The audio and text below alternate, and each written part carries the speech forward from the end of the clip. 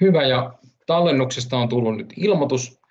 Eli voidaan aloittaa virallisesti tulevaisuustyöpaja. Ja lämpimästi tervetuloa mun puolesta. Mun nimi on Jari Pöyhönen, mä olen koulutuskeskus Salpauksesta kumppanuusvastaava ja tänään erityisesti Sähäkkä-hankkeen koordinaattorin roolissa täällä, täällä mukana.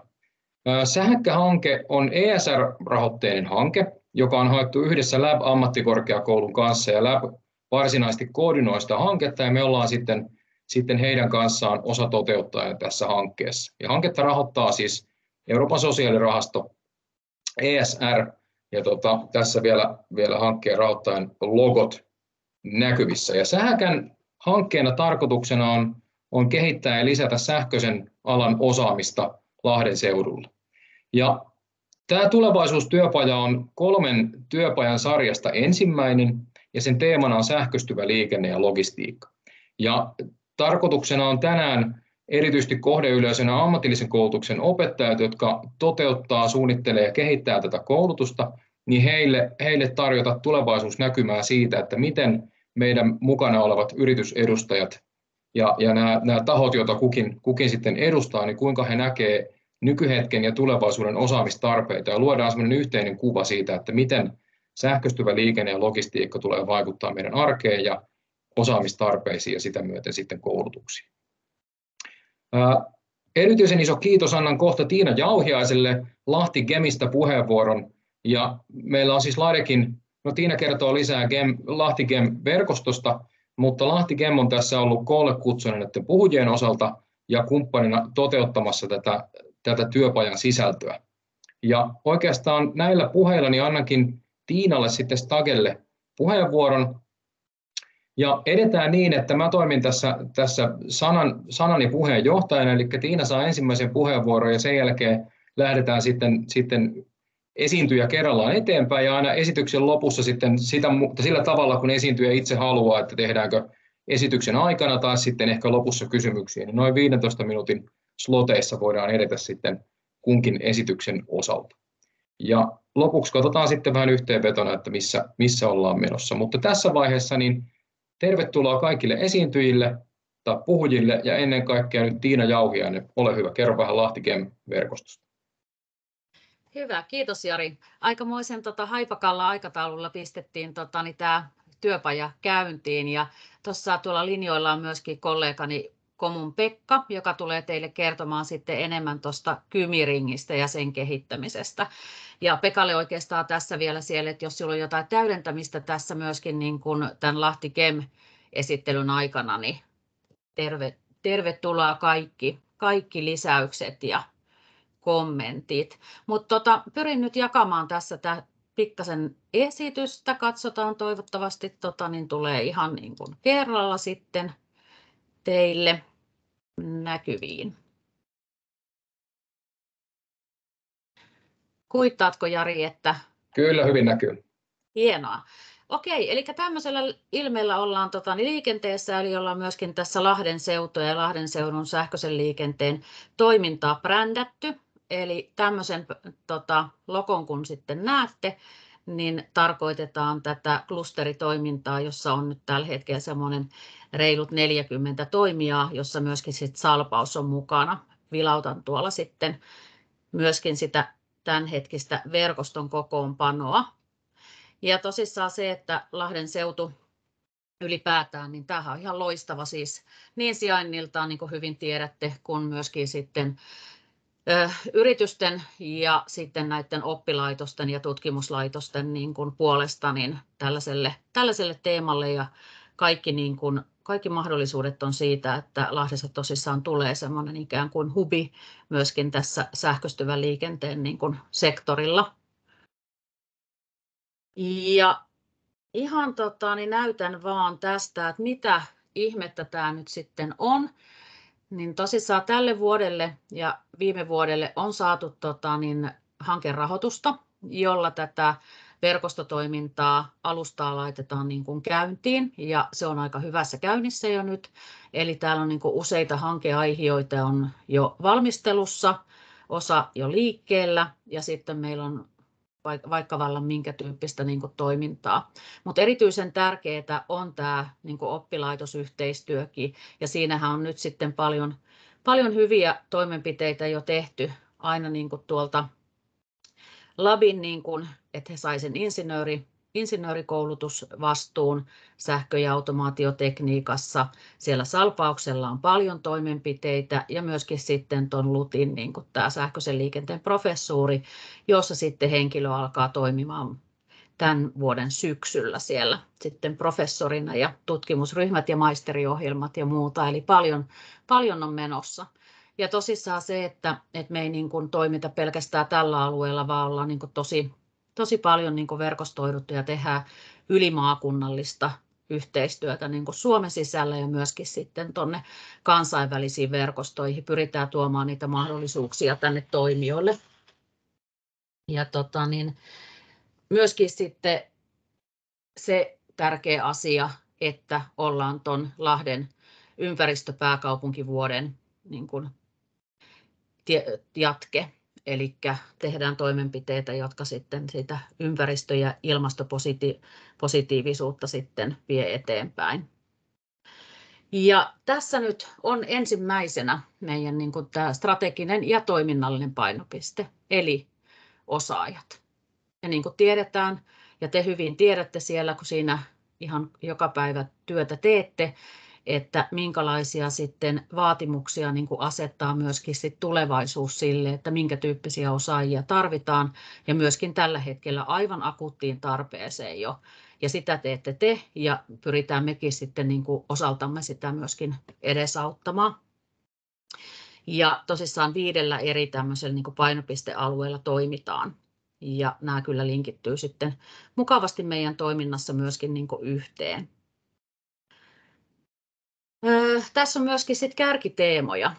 Eli näähän pohjautuu osin ja itse asiassa aika merkittäviltäkin osin siihen osaamiseen, mitä Lahden seudulla niin kuin jo on ja mikä, mihin on hyvä niin kuin rakentaa, mutta myöskin sit sitä uutta toimintaa, mitä tämä niin kuin sähköistyvä liikenne ja logistiikka sitten tuo tullessaan. Ja siitä sitten valottaa tuossa ITS Finlandin Emil, Emil Rauma enemmän, en mene siihen.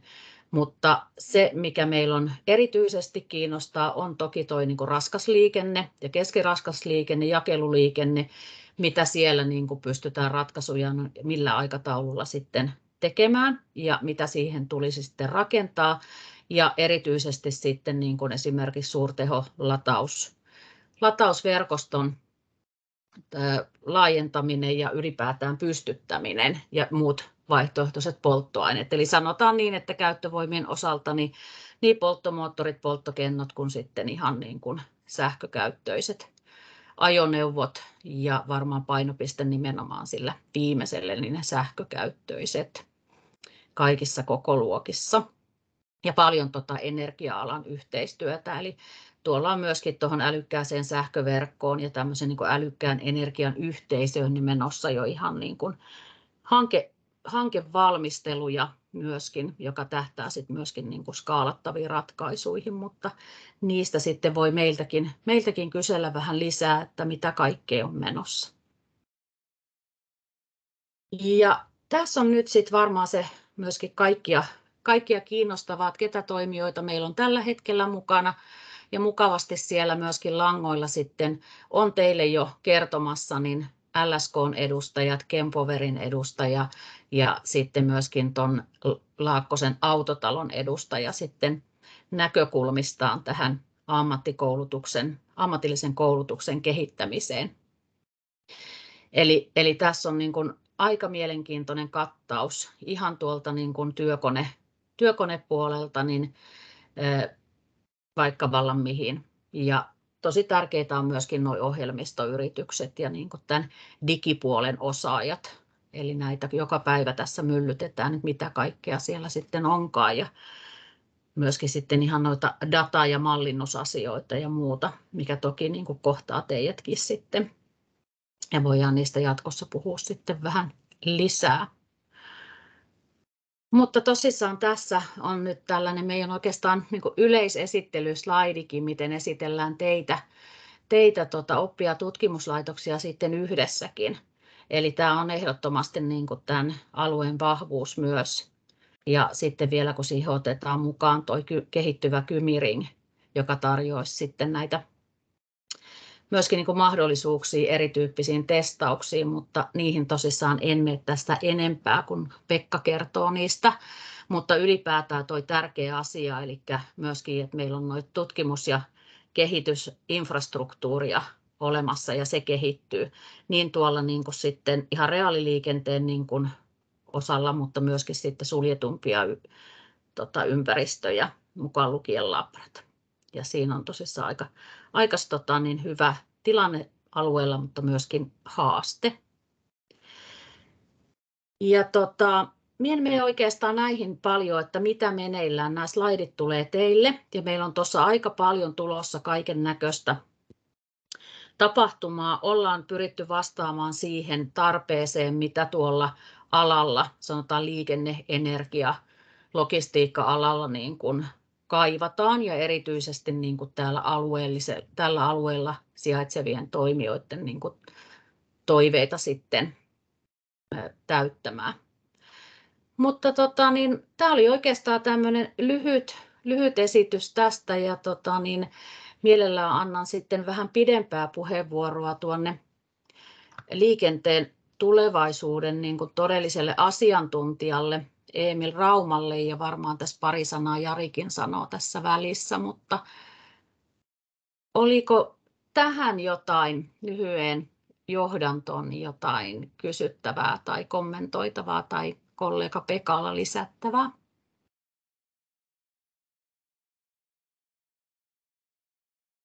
Hyvä esitys, ei ole lisättävää täältä. Joo, paljon tässä on, sanottaisiko näin, että ei meinaa tunnit riittää päivässä, kun tätä tehdään, tätä työtä. Eli kyllä me ollaan niin kuin ihan vakavasti asian kanssa liikkeellä, että, että mielellään näitä sitten ihan siellä käytännössä teidän kanssa myöskin sitten sparrailla, että mitä kaikkea on menossa. Just näin. Jep. Mutta päätän, päätän nyt tähän ja Jari varmaan jatkaa sitten Joo. seuraavaan spiikkaukseen. Kiitos Tiina ja jaan saman näkemyksen. Erinomainen johdanto siihen. Meidän täällä oppilaitoksessa niin ei välttämättä nähdä niin helposti, että mitä kaikkea on, on käynnissä. Ja tämä oli tosi hyvä tämä, varsinkin tämä viimeinen kuva ja se läpikäynti. Ja oikeastaan sitähän me lähdetään nyt sitten sukeltaa seuraavaksi. Eli ei mitään, me päästetään Emil, Emil langoille ja lähdetään katsomaan, mitä, mitä sieltä kuuluu. Ole hyvä Emil. Joo. Terveys kaikille ja, ja kiitoksia Jari ja Tiina. Tota, kuuletteko muut ja laitaan tuosta ja, näytön jako, niin tota, varmistaisin vielä, että näettehän myös tästä kalvot. Näkyy ja kuuluu. Jes, hyvä. Ja, ja sellainen varttitunti oli, niin mä laitoin tuossa itselleni, itselleni kellon kanssa, niin, niin tosiaan ei, ei mennä sitten yliajalle.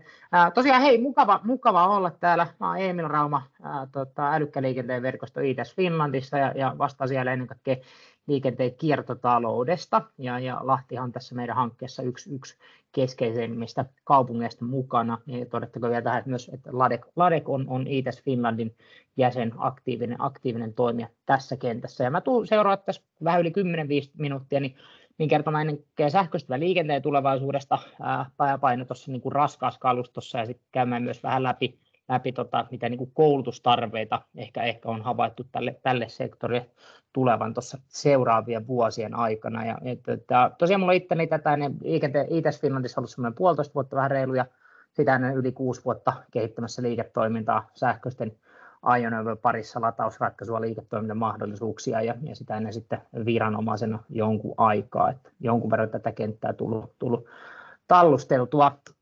Ää, käyn muutama sana tuosta meidän järjestöstä läpi, että ymmärrätte vähän, että millä äänellä tässä puhutaan. Sen jälkeen muutama sana sähköistyvän liikenteen tulevaisuudesta, mistä voisi puhua niin kauan kuin, kuin meillä on aikaa ja paljon enemmänkin vielä, mutta pyritään muutama asia siitä nostaa semmoisessa vähän vajassa kymmenes minuutissa. sitten muutama sana, että miten varautua tulevaan ennen kaikkea tämän koulutuksen näkökulmasta. Tosiaan hei, äh, älykkäliikenteen verkosto ITS Finland, niin, niin me ollaan tota, voittoa tavoittelematon ketterä pieni asiantuntijaorganisaatio, äh, vähän vajaa 110 jäsentä.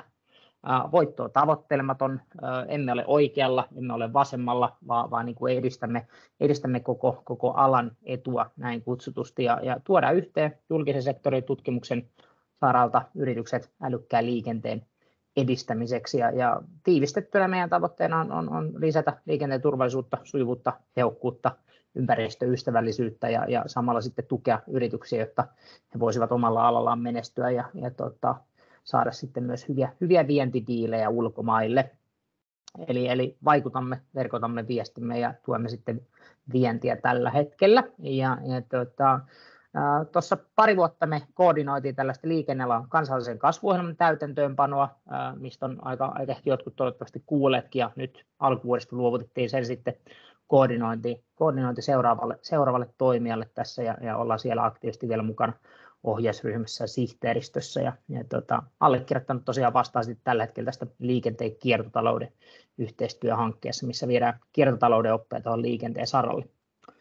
Tämä on niin meidän näkökulma. Me pyritään ennen kaikkea verkottaa eri toimijat, jotta tämä tietämys, mitä meillä laajalti on, niin ei, ei hukkuisi tavallaan yksittäisiin organisaatioihin, vaan olisi mahdollisimman monen, monen käytettävissä, niin vältetään tällaiset niin kaksinkertaiset tekemiset, sanotaan alalla. Mutta jees, hypätään sitten hei, muutama sanan sähköistä liikenteen tulevaisuudesta. Ja, ja ehkä ensimmäisenä sanoisin, että miksi niin kuin liikenteen raskaan kaluston sähköstyminen on, on Suomelle tärkeä asia, niin, niin se voisi niin kuin tietty taloudellisesti näkökulmasta katsoa sen, että et, et Suomessa kulkee kumipyörillä niin enemmän tavaraa kuin keskimäärin meidän kilpailijamaissa, ja, ja kustannukset sekä päästöjen vähentäminen, mitä tälle sektorille tulee sitten, niin on, on niin meille vielä, vielä tärkeämpää kuin muissa maissa. Ja, ja tietysti ei, ei voida unohtaa sitä, että, että tuossa pari vuotta sitten niin liikennealalla oli 31 000 yritystä, lähes 200 000 henkilöä työskenteli siellä, että et, et siellä on todella merkittävät niin työllisyysvaikutukset, jolloin myös niin kuin raskaan kaluston logistiikan kustannukset, kilpailuetu niin on, on todella tärkeä niin kuin työllisyyden näkökulmasta. Kuljetusyritysten liikevaihto oli 6 miljardia euroa ja, ja kokonaisuudessaan tuossa liikenteen markkinoilla toimivien yritysten liikevaihto oli, oli 70 miljardia euroa, että, että tässä on todella isot niin kuin taloudelliset, taloudelliset vaikutukset, miten meidän liikenteen logistiikan kustannukset tulevat lähivuosina kehittymään.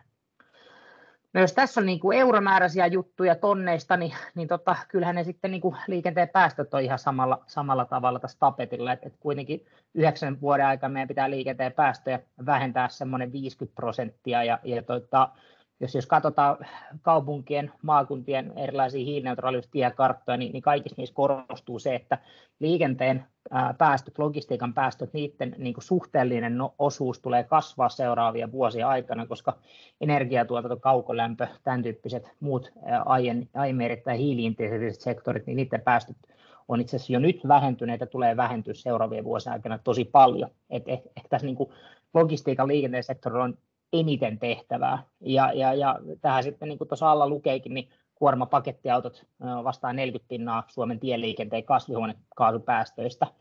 Että, että meillä on aika paljon, paljon tässäkin tehtävänä ja miten me tehdään se kustannustehokkaasti ja siten, että se hyödyttää suomalaisia yrityksiä eikä lisää kustannuksia, niin sehän se on avain tässä. Äh, sitten ehkä kolmas pointti on vielä se, että ennen kaikkea muutaman kerran sanoa tästä niin jakelogistiikasta, kaupunkilogistiikassa on se, että, että tota, se on niin kuin ehkä eniten kasvava trendi tässä, tässä niin logistiikasaralla tavallaan yksittäisenä tekijän tässä seuraavan parin vuosien aikana, että, kotiin kuljetukset ovat lisääntyneet todella paljon verkkokaupan myötä. Korona vaan vauhdittanut sitä. Mä en edes puhu mistään niin kuin voltista ja muista ruokien kotiin kuljetuksista, vaan niin paketti, pakettien kuljettamista kaupunkiseuduilla, niin, niin, niin kuin muuallakin on todella paljon lisääntynyt. Ja tämä tarkoittaa sitä, että me tarvitaan lisää jakelukalustoa. Ja, ja siellähän sitten tulee tämä vaihtoehto, että, että, että lähtevätkö yritykset investoimaan dieseliä, hyödyntävätkö uusiutuvia polttoaineita, kaasua, sähköä, odotetaanko vetyä, niin tässä on aika monta vaihtoehtoa ja tarvitaan tietoa yritysten päätöksenteon tueksi. Tuohon oikealle laitettu se vähän demonstroitu se, että esimerkiksi jos otetaan diesel, diesel tota, VRT-sähkökuorma-auto, niin, niin aika, aika, merkittävä päästövähenemä, että seitsemänkertaiset päästövähenemät saadaan, saadaan siitä, että siirrytään sähkön käyttöön. Ja, ja luonnollisesti myös on muitakin hyviä vaihtoehtoja, vaikka sitten biokaasu koti, kotimaassa tai, tai jossain tulevaisuudessa ehkä, ehkä vety, niin kyllä meillä näitä hyviä vaihtoehtoja on. Täytyy vain pystyä tekemään päätöksiä oikeassa ajassa. Äh, tästä kalvosta mä voisin itse asiassa puhua siis use, useita tunteja ja, ja, ja joskus on muussa esityksissä tätäkin käyttänyt ja olen joutunut käyttää siihen huomattavan pitkän tovin, mutta, mutta tota, nyt, nyt tiivistäisin tämän ehkä pari minuuttia. Ää, tässä on kuvattuna 2020-luvun ennen kaikkea raskaan kaluston ajoneuvomarkkinan keskeisiä muutosajureita, miten, miten ne vaikuttaa tuohon markkinan kehitykseen ja, ja ne tavallaan niin kuin ryhmitelty viiden tällaisen keskeisen ylä, yläteeman alle. Tuot lainsäädännön voidaan katsoa ihan, ihan lyhykäisyydessään, niin jokainen meistä, kun on seurannut uutisia, tietää, että, että, että myös raskaan kaluston niin CO2-kriteeristä tulee kiristymään merkittävästi. Olisiko nyt tällä hetkellä, oliko se 37,5 pinnaa pitää päästä vähentää 2030 mennessä, ja, ja varmaan sekin tulee kiristyä tässä. Ja, ja samaan aikaan meillä on Clean Vehicle-direktiivi tullut jo voimaan, mikä ohjaa esimerkiksi kaupunkien ajoneuvohankintoja. Euro 7 päästöluokitus tulee 25-27 todennäköisesti tuossa voimaa, lisää entisestään kustannuksia polttomoottorikaluston päästöjen vähentämisessä saralla. Useissa kaupungeissa Euroopassa sä et pääse enää euro vitosella tai edes välttämättä euro kutosen niin ajoneuvokalustolla, jakelukalustolla, kuorma-autoilla, niin sä et pääse kaupunkien keskustoihin, että sulla ei ole kovin montaa vaihtoehtoa, että minkälaisella kalustolla sitä kaupunki esimerkiksi keskustoissa teet sitä jakelutoimintaa. No sitten vastaavasti, jos katsotaan esimerkiksi tässä sähköistä kustannuksia, niin, niin ne on kehittynyt ihan mukavasti, että, että kustannukset akut on laskenut 2012 hinnat taisi olla reilu 1000 dollaria per kilowattitunti, niin, niin nyt ne on semmoista 100, vähän 100 dollaria per kilowattituntia, ja tota, arvioiden mukaan semmoinen 50 pinnaa tulee tippua vielä seuraavan yhdeksän vuoden aikana. Toki tämä on hyvin spekulatiivista, kun tiedetään, että esimerkiksi raaka-aineiden hinnat niin on, menee, menee tällä tavalla. Ja sitten huomataan se, että, että mitä enemmän meillä alkaa tulla myös, myös tota, niin kuin alusta pitää sähköisiksi ajoneuvoiksi suunniteltuja, rakennettuja ajoneuvoja, niin, niin siellä tulee merkittäviä tota, etuja niin kuin EV-alustojen kautta, eli, eli ei jouduta huomioimaan sitä polttomoottorialustan tavallaan niin kuin haasteita sähköajoneuvossa. Massatuotanto lisää, lisääntyy, niin laskee sitten kustannuksia. Ja toki yrityksille niin huomattava, että sähkö nyt on merkittävästi edullisempi vaihtoehto fossiilisiin polttoaineisiin nähden. No tuossa vastaavasti on sitten muutama nosto esimerkkinä, että, että mitä muille vaihtoehtoisille käyttöön on käymässä, niin, niin tota, polttomoottorikalustojen kustannukset tulee vaan nousee, kun pitää hienompaa tekniikkaa laittaa päästöjen vähennykseen. Suomessa biokaasu on tosi hyvä vaihtoehto, mutta valitettavasti tuolla niin kuin laajemmin ei biokaasu ehkä tuoteta siinä määrin, että sitä liikenteen saralla niin paljon riittäisi, niin ohjautuu sitten muihin käyttökohteisiin. Bio, e-polttoaineet, hyviä, hyviä vaihtoehtoja, mutta, mutta niilläkin ehkä niin kustannus päästövähentämisen näkökulmasta sitten vähän kriittisempiä kohteita, mihin laittaa vaikka lentoliikenne mainittakoon tuossa. Ja polttokennovety, niin, niin tota, hyvä, hyvä ratkaisu ennen kaikkea noihin kaikista raskaampiin kuorma-autoihin. Katsotaan, milloin, milloin tulevat sitten laajempaan käyttöön. Oikealla on vielä todettako, että, että merkittävästi kansalliset yrityskohtaiset ilmastotavoitteet niin ohjaa, ohjaa markkinan kehitystä. Että monillahan niin suurilla kuljetusyrityksillä, kuljetuspalvelut hankkivilla yrityksillä esimerkiksi vielä paljon kunnianhimoisemmat päästötavoitteet kuin, kuin, niin kuin EU-ssa tai kansallisilla valtioilla, ja nämä ohjaa kyllä merkittävästi markkinakehitystä. Ja viimeisimpänä sitten tuolla oikealla niin ajoneuvomarkkinan sisäinen kehitys, mitä tapahtuu, syntyy jälkimarkkinat, onko esimerkiksi mikroyrityksillä varaa ostaa kaksi kertaa kalliimpia ajoneuvoja kuin aikaisemmin, niin, niin täällä on ihan mielenkiintoisia haasteita ja myös mahdollisuuksia tulossa, mitkä kyllä ohjaa tuota markkinaa. Mutta tässä mennään, mennään sitten eteenpäin, että et, et, et, et, mielenkiintoinen tavalla soppa meillä on, niin miten voisi varautua tähän tulevaan ja ennen kaikkea koulutustarpeen näkökulmassa, niin, niin Suomessa on jo nyt pari vuotta ihan hyvää duunia tehty sen suhteen, että on, on lähdetty selvittämään, että, että, että minkälaista osaajapulaa meillä on sähköistyvän liikenteen akkualan arvoketjun saralla, minkälaisia koulutushankkeita tarvitaan. Ja, ja niin kuin toki tuo aikaisempi tarina on, on tiedostettu, että Suomi kulkee kumipyörillä ja, ja se pikkuhiljaa siirtyy sähköiseen voimasiirtoon. Painotus on ollut pikkuhiljaa, ei ole tapahtumassa ihan tuosta kuitenkin niin se on Suomelle tosi suuri mahdollisuus. Meillä löytyy tosi hyvä akkuarvoketju, meillä löytyy hyviä sovelluksia, meillä löytyy hyviä firmoja, mitkä tekee, tekee esimerkiksi kuorma-autojen päälle ja varaa erilaisia tuotteita ja palveluita, niin tässä on meille voitettavaa.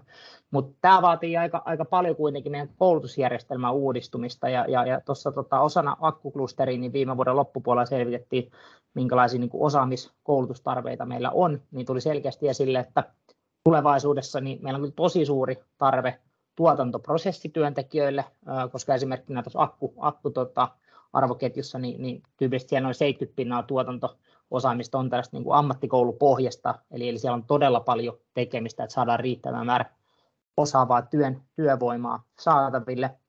Myös korkeakoulutettuja asiantuntijoita tarvitaan, mutta se määrä on merkittävästi pienempi. Toki tähän on todettava se, että, että sieltä saattaa sitten muodostua, niin kuin jos ei ole tietyn alan huippuosaajia saatavissa, niin tällaisia pullonkauloja. Ja, ja laajasti tuossa niin selityksissä todettiin, että, että myös tällaisen niin entistä laaja-alaisemme osaamiselle on, on kysyntää, että nämä ympäristöasiatkin esimerkkinä, niin niitä pitäisi alkaa kouluttaa alusta asti, että niitä ei voi enää li, niin kuin liimata siihen päälle, että no niin käydään nyt tällainen kahden viikon niin kuin ympäristökoulutus, niin se ei, ei niin kuin nykymaailmassa enää riitä.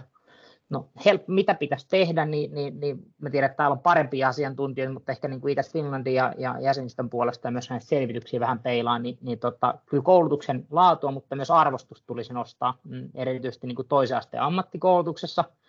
Pitäisi samalla panostaa vähän laaja-alaiseen osaamisen kehittämiseen, isojen kokonaisuuksien ymmärtämiseen. Ja, ja viimeisimpinä, mikä itse asiassa mahdollistaisi nämä, on, on kyllä tällainen niin kuin resurssointi, että, että pitäisi kohdistaa kansallisella tasolla enemmän resursseja koulutukseen. Ministeriöiden tulisi olla aktiivisemmin mukana tässä yhteiskehittämisessä. Ja toki nämä osittain poliittisia päätöksiä, että mihin ne eurot laitetaan. Ja jokainen meistä voi vaikuttaa siihen, että keskustelee oma alueen edustajille, poliittisille päättäjille, että saadaan niitä resursseja tähän koulutukseen arvo, arvovalintoja luonnollisestikin ja jokainen tekee ne päässä ja sydämessään. No sitten viimeinen, että jos tuossa oli koulutuksesta, niin miten, miten vähän tähän niin koulutustarpeisiin voitaisiin voitais varautua, niin, niin tämä on sinänsä liikenne tosi mielenkiintoinen, että on niin nopeasti muuttunut, että tuossa tota, yksi Nissanin Euroopan johtaja pari vuotta sitten sanoikin hyvin tiivisti sen, että liikenne tulee muuttumaan seuraavan kymmenen vuoden sisään enemmän kuin se on muuttunut sadan vuoden sisään, ja, ja tota, näin, näin kyllä hyvin, hyvin tämä, tämä laude voidaan allekirjoittaa. Ja, ja tavallaan tämä onkin haasteellista, että hyvin perinteinen ala, liikenne- logistiikkasektori on ollut, mutta se on muuttunut tosi nopeasti.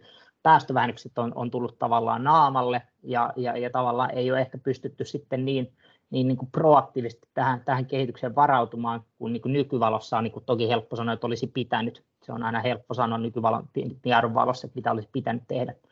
Mutta ehkä niin alan etujärjestöjen muiden toimien tulisi olla entistäkin niin proaktiivisempia siinä, että, että miltä se tulevaisuus näyttää mitä vaikutuksia tällä on, on koulutukseen. Tuossa alhaalla on, on kaksi pointtia, mitä niin Yleltä vaan tsekkasin nopeasti, että kaksi vuotta sitten meillä autoalla sanoi, että et, et, et, tota, et, et ei sähköautoja ole niin ma- paljon mahdollista saada, että et, et ei, ei onnistu, en lähtisi Lappiin ajamaan, ja, ja sitten tällä hetkellä se on tässä ihan täysin toi, niin kuin, tavallaan kehittynyt tämä näkemys, että, että autoalla pelkää laajamittaisesti sitä, että meillä ei ole riittävää osaamista esimerkiksi tuolla niin kuin sähköisen liikenteen saralla. Ja tänään tuli Autolan tota, uutinen just siitä, että sähköistyminen etenee niin kuin entistä nopeammin, mikä on, on sinänsä positiivinen asia.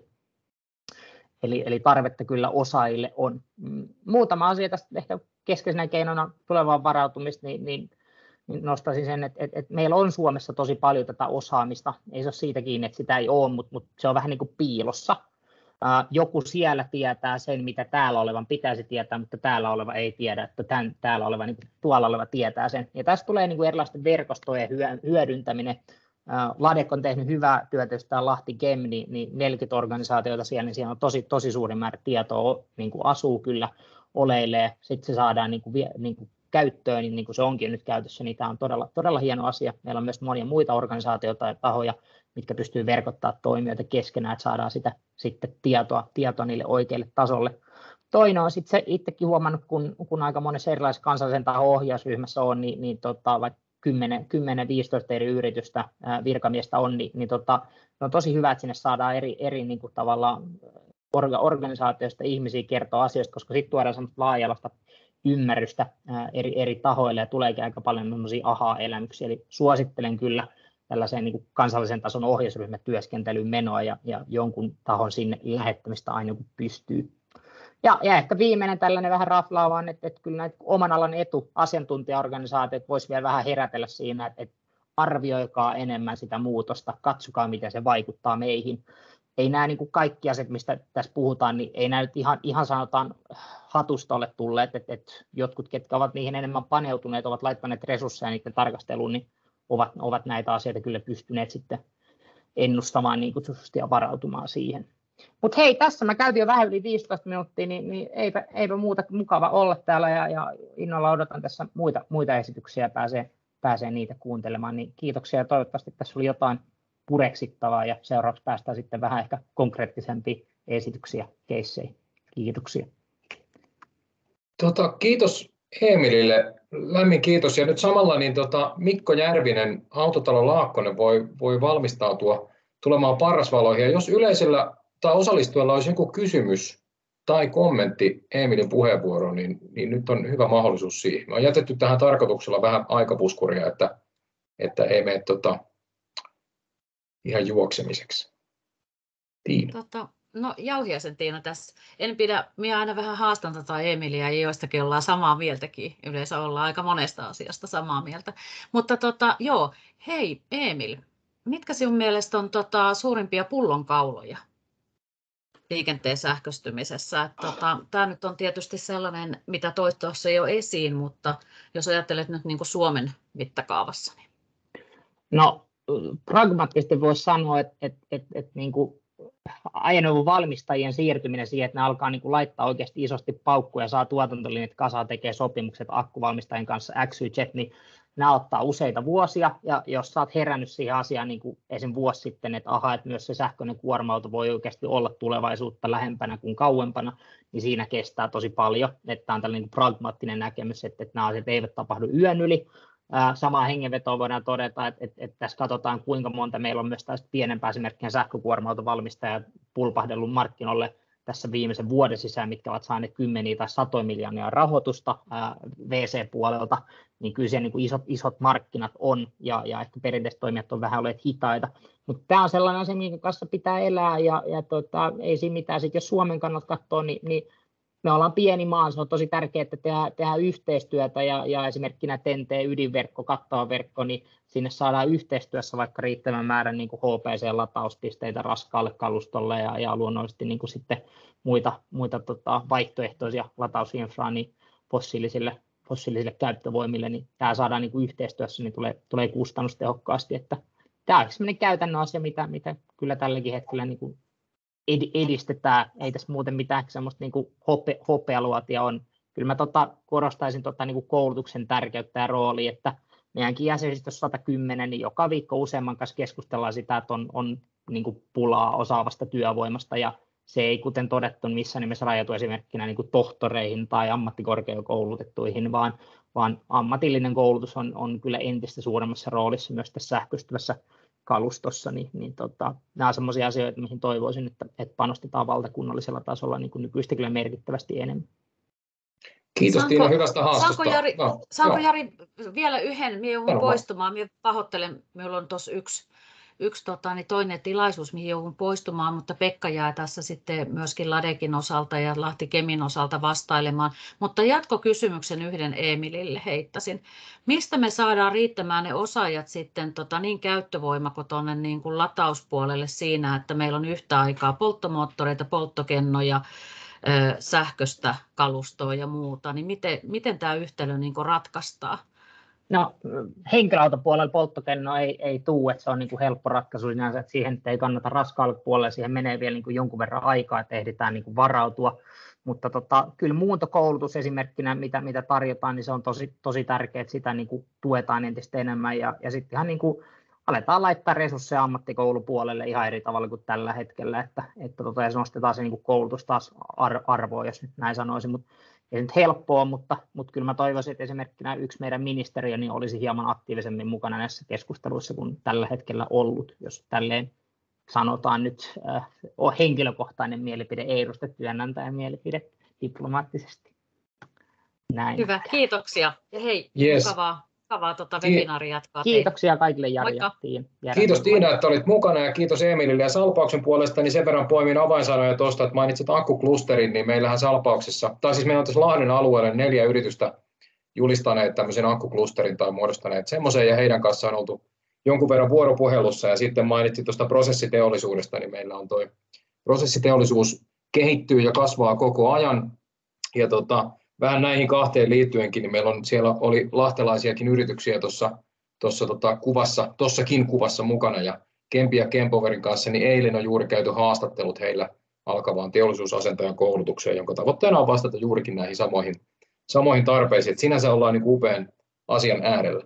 Mutta nyt varmistan, saanko että... Vielä, oliko... Saanko vielä yhden kommentin sanoa? Sanoit tuosta niin akkuyhteenliittymästä, myöskin tästä akkuklusterista, niin kaikki nämä neljä yritystä on myöskin sit sähköisen liikenteen klusterissa. Niin Yes. Yes. Siellä oli, tota, jos muistelen, Lemkem, Marakon, Macron ja Kempi tai Kempover. Joo, siellä on sitten Kempoverin puheenvuoro tulossa, niin voi varmaan Juuri näin. siitä sitten Juuri vähän näin. lisää. Kiva. Mutta no niin, nyt joo. Mikko Moikka. Järvinen, Autotalo Laakkonen, ole hyvä. Kiitoksia.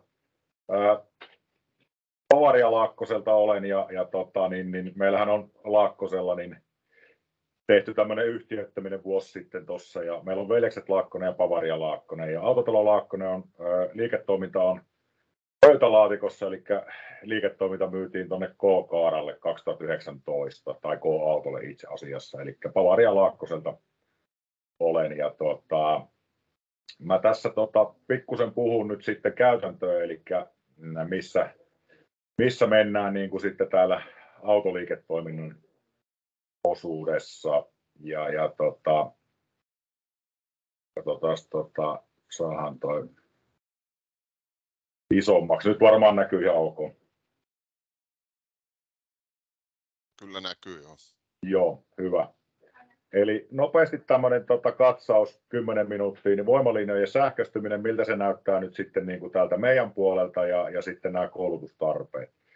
Ihan lyhyesti silleen, että tota, mikä mun tausta on, niin on, on kouluttajahommissa ollut pitkään tuossa aikaisemmin ja nyt tota, reilu 10 vuotta Laakkosella erinäisissä hommissa, lähinnä vastannut niin kuin jälkimarkkinoiden toiminnoista. Ja tällä hetkellä on vastuualueen BMW-huoltotoiminnot, eli meillä on kahdeksan huoltopistettä Suomessa, ja, ja siellä Lahdessakin niin meillä on siellä tota, myynti ja huolto ja, ja varaosat, eli täyden palvelun BMW-liike. Ja se Veljeksien puolella sitten se toiminta samassa kiinteistössä niin koskee meidän muita merkkejä.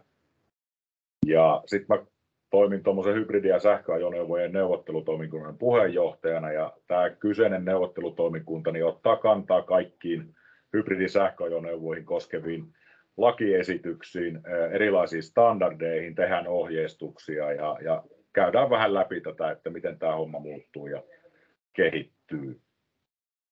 Ihan lyhyesti se, että millä tavalla tässä tota, BMWn näkökannasta niin voimallinen on sähköistynyt, niin tuossa on globaalisti BMWn lukuja ja jos katsotaan Eurooppaa, niin 23 prosenttia BMW ja minimalleista oli sähköistettyjä viime vuonna.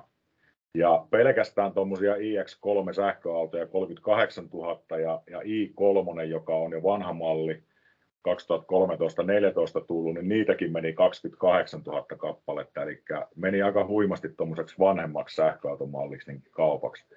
Ja jos katsotaan tätä sähköisten voimalinjojen kehitystä, niin edelliseen vuoteen nähden niin 70,4 prosenttia lisääntyi sähköiset voimasiirtolinjat ja tuota, BMW-johto on ilmoittanut, että vauhti kiihtyy vaan tästä. Eli tämä muutos on ehkä nopeampi, mitä me ollaan kuviteltu. Ja jos katsotaan Suomen tilannetta, niin muutos on tosiaan nopeampi, varsinkin PK-seudulla ja isoissa kasvukeskuksissa. Jos katsotaan BMWn rekisteröintiä, niin tota, ensirekisteröintimäärät kasvo täyssähköistä ja hybridien osalta 56 prosenttia, niiden osuus kasvoi jopa 70 prosenttiin BMW mallistosta. Eli ainoastaan 30 prosenttia on enää pelkkiä bensa- tai dieselikäyttöisiä autoja. Eli tämä on todella raju tämä muutos. Ja tämä tarkoittaa myös sitä, että tuo latausinfran kasvattaminen on tarpeen. Meillä on tällä hetkellä Laakkosen konsernissa semmoinen 180 latauspistettä.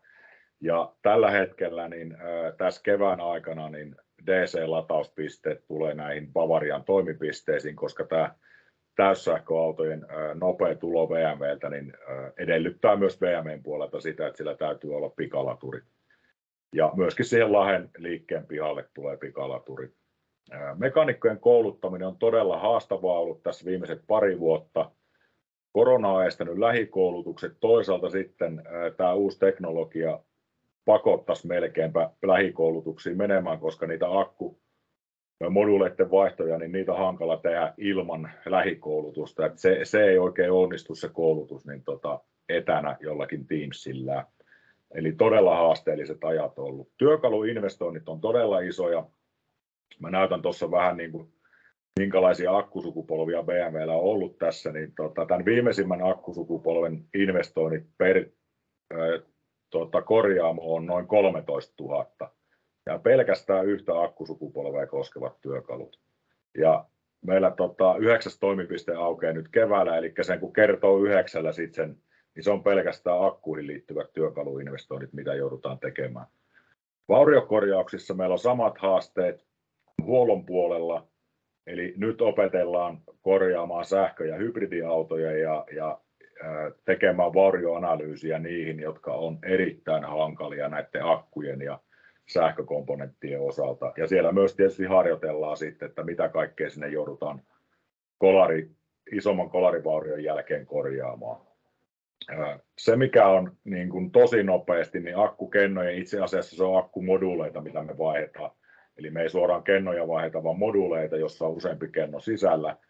Lähes päivittäistä rutiinia, eli selkeästi huomataan se, että akkuja pystytään korjaamaan ja niitä tehdään, niitä moduulin vaihtoja, eli kokonaisia akkuja ei vaihdeta, vaan sitten sinne akun sisälle vaihdetaan moduuleita.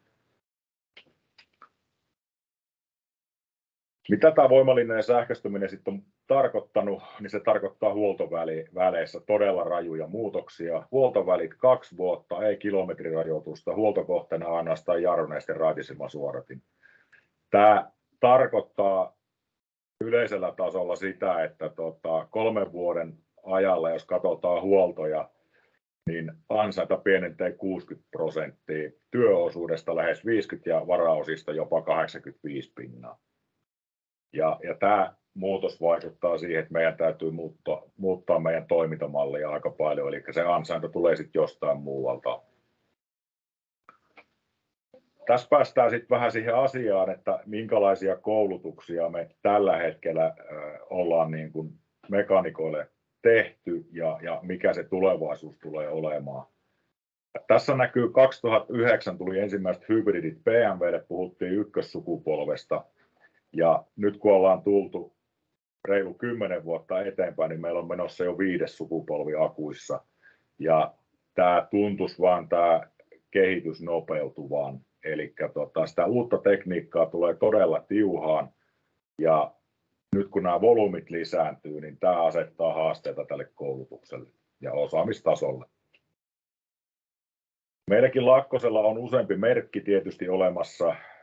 Skoda, BMW, Ford on ne meidän päämerkit ja kaikilla on täyssähköautoa ja, ja kaikilla on hybrideitä ja kevyt hybrideitä ja kaikilla on vähän samanlainen idea tässä tota, koulutus, portaikossa. Ja yleensä tämä lähtee niin, että meillä täytyy olla joko, jopa tuonne fiksaritasolle niin sähkötietoisuus, eli, eli me koulutetaan sitten sisäisesti meidän fiksaamot alihankkijat siihen, että meillä on täällä korkeajännitteisiä autoja ja niissä täytyy huomioida tietyt asiat. Sen jälkeen meillä on jokaiselle hallissa työskentelevälle myös työnjohtajille, varaosamyyjille. Se on se 6002, eli tehdään tämmöinen tota, sähköstandardikoulutus. Ja sen jälkeen sitten kun lähdetään niihin korkeisiin töihin, niin sähköstandardi sanoo, että täytyy olla riittävästi perehtynyt. Ja se on hiukan laaja, laaja tietysti tota, tulkinta aika monella siihen, että mikä on riittävästi perehtynyt mutta merkkikorjaamoissa tämä tarkoittaa sitä, että kyseiseen automalliin täytyy olla käyty koulutus ja kyseiseen akkutyyppiin täytyy olla koulutus. Eli jos sä käyt esimerkiksi seiskasarjan hybridin koulutuksen, niin se ei edellytä korjaamaan kakkosarjan hybridiä tai kolmossarjan hybridiä, vaan se täytyy olla mallikohtainen koulutus, joka on käyty. BMW-nimitys tämmöiselle tekni- teknikolle on HVT eli High Voltage Technician ja, ja tota, hän saa sitten tehdä niitä korkeajännitekoulutuksia. Jos mennään akkuhommiin, niin ä, akkuhommissa täytyy olla oma koulutus. Sitten tota, on plussa ä, taso. Tällä hetkellä Suomessa on vain yksi plussamies meillä Bavaria Laakkosella. Ja hän saa sitten koskea autoon, jos perustoimenpiteet korkeajännitteen poiskytkemiseksi ei mene mene tuota läpi siinä autossa, niin sitten tämä plussamies voidaan kutsua paikalle ja hän voi sitten tehdä turvallisesti sen auton virrattomaksi. Ja sitten on ihan niin kuin tuota, valmistajan tasolla on tuommoinen High Voltage Expert HVE ja se on tällä hetkellä Ruotsissa oleva kaveri, eli se voidaan sitten lennättää paikan päälle tarvittaessa. Eli moniportainen on tämä koulutustaso. Akkusukupolvia mä en lähde tässä sen kummemmin käymään läpi, muuta kuin näytän vaan tässä nopeasti, eli tota 2019 vuodesta niin 2021 niin viisi sukupolvea. Ja nämä viimeisimmät akkusukupolvet on tullut tässä viimeisimpiin malleihin. Ja tämä tässä niin kuin pohjustuksena siihen, että tämä tarve tulee olemaan nimenomaan tänne korkeajännitepuolelle ja siellä me tehdään niitä moduulivaihtoja ja sitten tietysti diagnostiikka on se toinen, mihin me tarvitaan osaamista. Ja nämä kaikki edellyttää sitä, että se perussähköosaaminen täytyy olla hyvä. Eli nyt me tarvitaan semmoista tota, mekaanikkosukupolvea, jotka ymmärtää perussähkö hyvin, tietää mikä on, mikä on tuota, omillakin on tietysti semmoinen, mutta tietää, että miten virtapiirikaavioita luetaan, mikä on matala jännitepuoli, korkea jännitepuoli ja siitä sitten voidaan lähteä merkkikohtaisesti kasvattamaan niistä kavereista tekijöitä.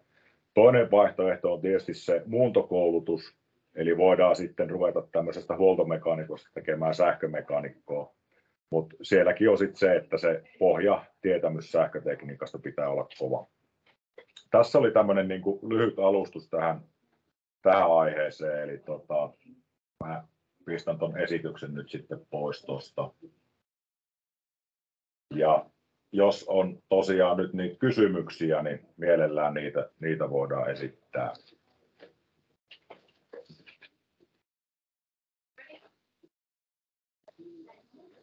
Kiitos, tämä olikin mielenkiintoinen puheenvuoro. Ja tätä on, on meillä pohdittu, että miten me yhdistetään nämä sähkömiehet ja ajoneuvoasentajat. Ja tota, olisiko, olisiko kommenttia siellä linjoilla olevilla tai kysymyksiä tähän liittyen?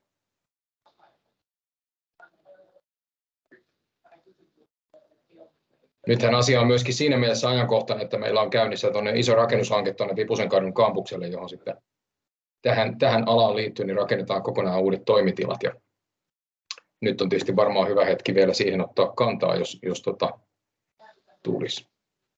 Tulkitsenko niin, että tällä hetkellä, vai oliko Jarmo?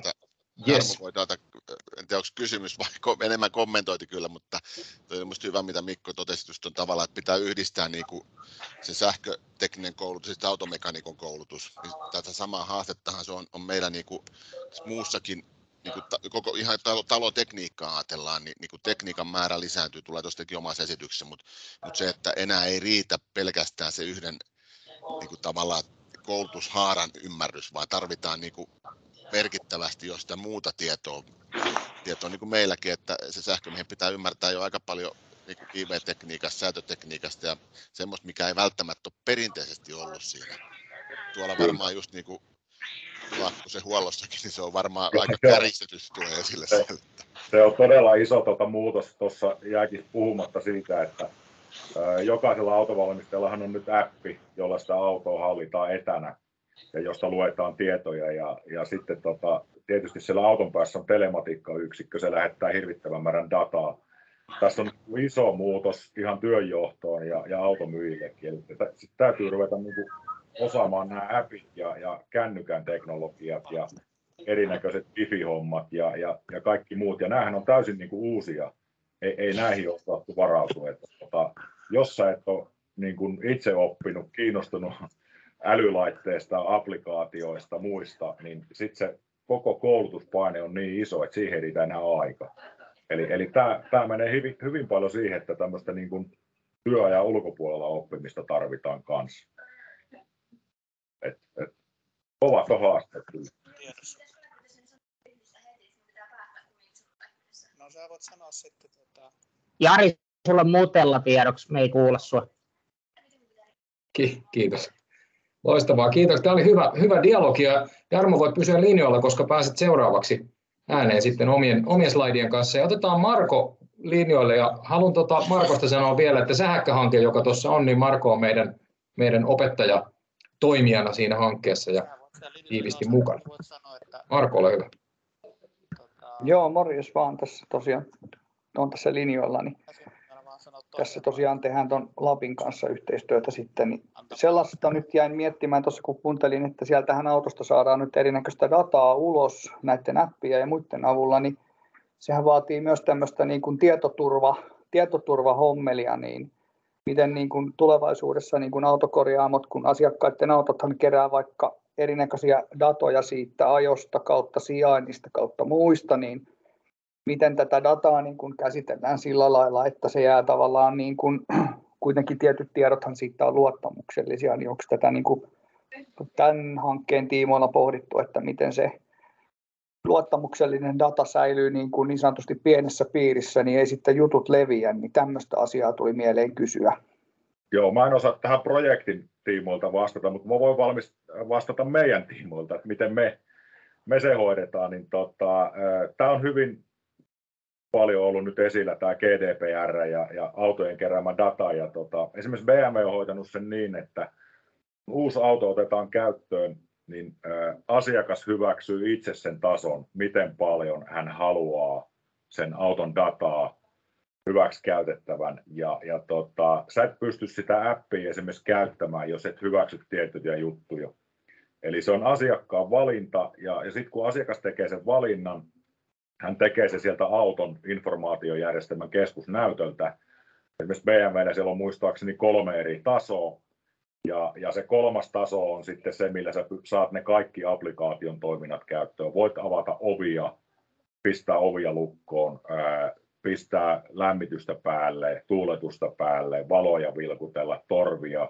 Ja samalla sitten siellä sä hyväksyt sen, että siitä autosta kerätään tietty data, data ja sitten siinä kyseisen applikaation kautta tai nettiportaalin kautta niin pääsee tekemään tämmöisen tietokyselyn. Eli sä voit sieltä käydä sitten tekemässä omaa autoa koskevan kyselyn ja sä saat sieltä dataa aivan mielettömästi. Osa on koneluettavaa dataa, osa on semmoista dataa, minkä pystyy ihan niin kuin normi-ihminenkin tietokoneen ruudulta katsomaan.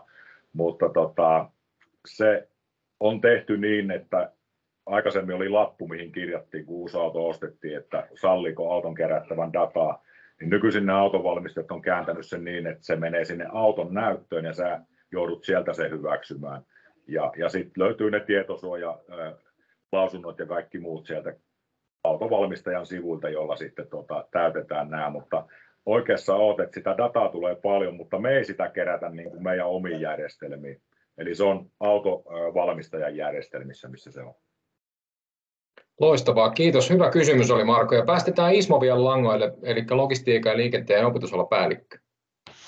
Joo, Ismo Mämänä täällä morjesta. Tota, ihan pikasti vaan kiitoksia Mikolle, niin oli kerta kaikkiaan hyvä tuo, tuo, tuo esitys ja mikä pisti silmään siellä, niin, niin, niin oli se, niin, että se perusosaaminen täytyy olla kunnossa ja sitä ajattelinkin just tässä näin, että voisi olla jälkeenpäin yhteydessä ja tota, tota, tota, käydä läpi just näitä, mitä kertoilit siinä diagnostiikasta ja korkeajännitejutuista ja näistä. Ja totta kai meidän opetusta määräilee aika pitkälle nuo perusteet, mitkä nyt uudistuu syksyllä, mutta just tämän, tämän osalta niin olisi hyvä käydä läpi sitä ja kuullaan mielellään juuri näitä tota, teidän niin kuin näkökantoja siitä, että mikä on se tulevan työntekijän, niin mitkä ne osaamistarpeet on ja mitä te arvostatte, koska tota, tämä on mun mielestä just se oikea paikka, missä pystytään vaikuttamaan siihen ei mulla muuta, niin että kiitoksia hyvästä esityksestä.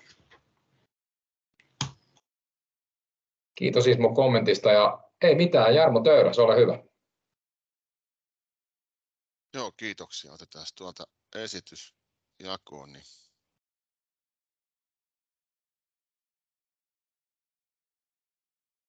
Pääsikö näkymään sinne päin?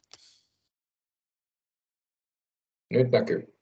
No niin, mennään tuonne alkuun ensin, että Joo, kiitoksia vaan mahdollisuudesta tosiaan olla mukana kertomassa. Ehkä pikkasen eri näkökulmalta, katson ehkä vähän laajemmalla perspektiiviä koko niin kuin meidän alaa, en, en pelkästään että sähköisen liikenteen näkökulmasta, mutta asiat on sinällään ihan samoja. Että jos tuosta ensin otetaan, otetaan tota, pitää lyhyt markkinapuheena käyttää, niin tosiaan LSK Lahtelainen perheyhtiö 92 vuotta tänä vuonna tulee täyteen ja meitä on 300 henkeä noin 50 miljoonaa on se liikevaihto vuodessa ja talo- ja teollisuustekniikka on meidän toimiala ja ollaan tässä sanotaan, että puolessa Suomessa eri paikkakunnilla, kuudella, kuudella eri paikkakunnilla toimitaan. Ja tuohon otin kuvan näistä meidän liiketoiminta-alueista ihan sen takia, että ja tätä, liiketoiminta-alue kolmosen värjäs, niin kuin meillähän perinteisesti on jaettu vähän niin kuin kahteen, on tämä talotekniikka ja sitten teollisuustekniikka, mutta nyt liittyen juuri tähän tekniikan uusiutumiseen niin,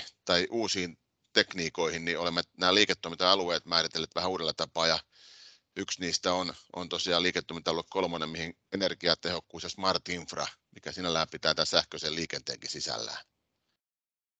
Perinteisesti me on firma esitetty tälle, että minkä tyyppisiä kohteita me on tehty tai tehdään. Tuossa on me käynnissä olevia hankkeita muutama erityyppisiä ja tietenkin nämä, nämä pitää aika paljon tekniikkaa sisällään ja, ja valmistuneita kohteita.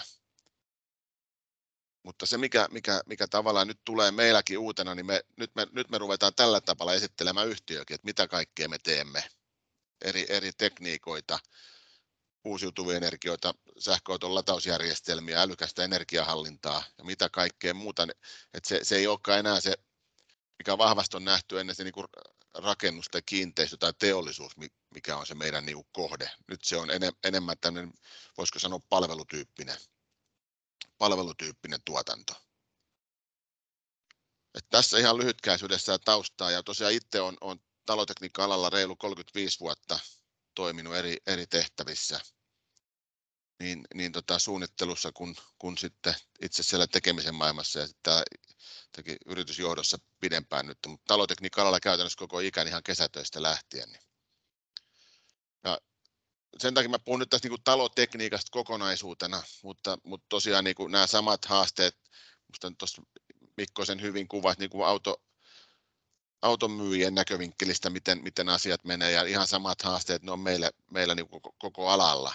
Ja, ja tota, jos tuossa niin alan, alaa kokonaisuutena ajatellaan, niin tämä nimenomaan, että tämä tekniikan määrä joka paikassa lisääntyy ja tekniikka monimutkaistuu ja sitten hyvänä esimerkki on, esimerkkinä on nimenomaan tämä autoilun sähköistyminen ja sen mukanaan tuomat haasteet, mutta myös kiinteistöissä ihan jokainen varmasti kotona jo huomaa sen, että me ollaan aika pitkälle sen sähkön varassa ja, ja sen varassa, että miten, miten ne järjestelmät toimii ja jos ei ne toimi, niin miten ne saadaan toimimaan.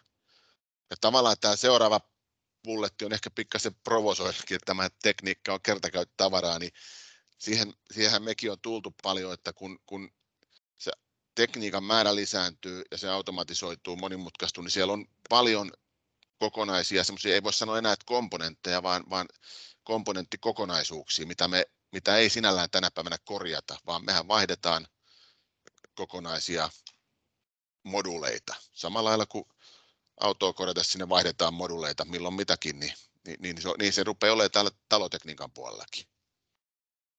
Ja sitten tämä asiakkaan odotukset niin kuin tekijöitä kohtaan. Minusta tämä, kun Laakkosen porukkaa tuossa aikaisemminkin tänä vuonna tapasin, niin anteeksi, oli se loppuvuotta, se oli viimeksi kun tavattiin, niin, niin tämä tuli hyvin sielläkin esille, että, että asiakkaiden odotukset niitä tekijöitä kohtaan, eli niin kuin meikin asentajia kohtaan, ne asiakkaiden odotukset on, on niin kuin merkittävästi suuremmat. Ne, nehän olettaa, että jokainen meidän työntekijä on, on niin kuin oman alansa asiantuntija, tietää paljon laajemmalti kuin mitä, mitä välttämättä tähän työtehtävissä aika tarvitsee.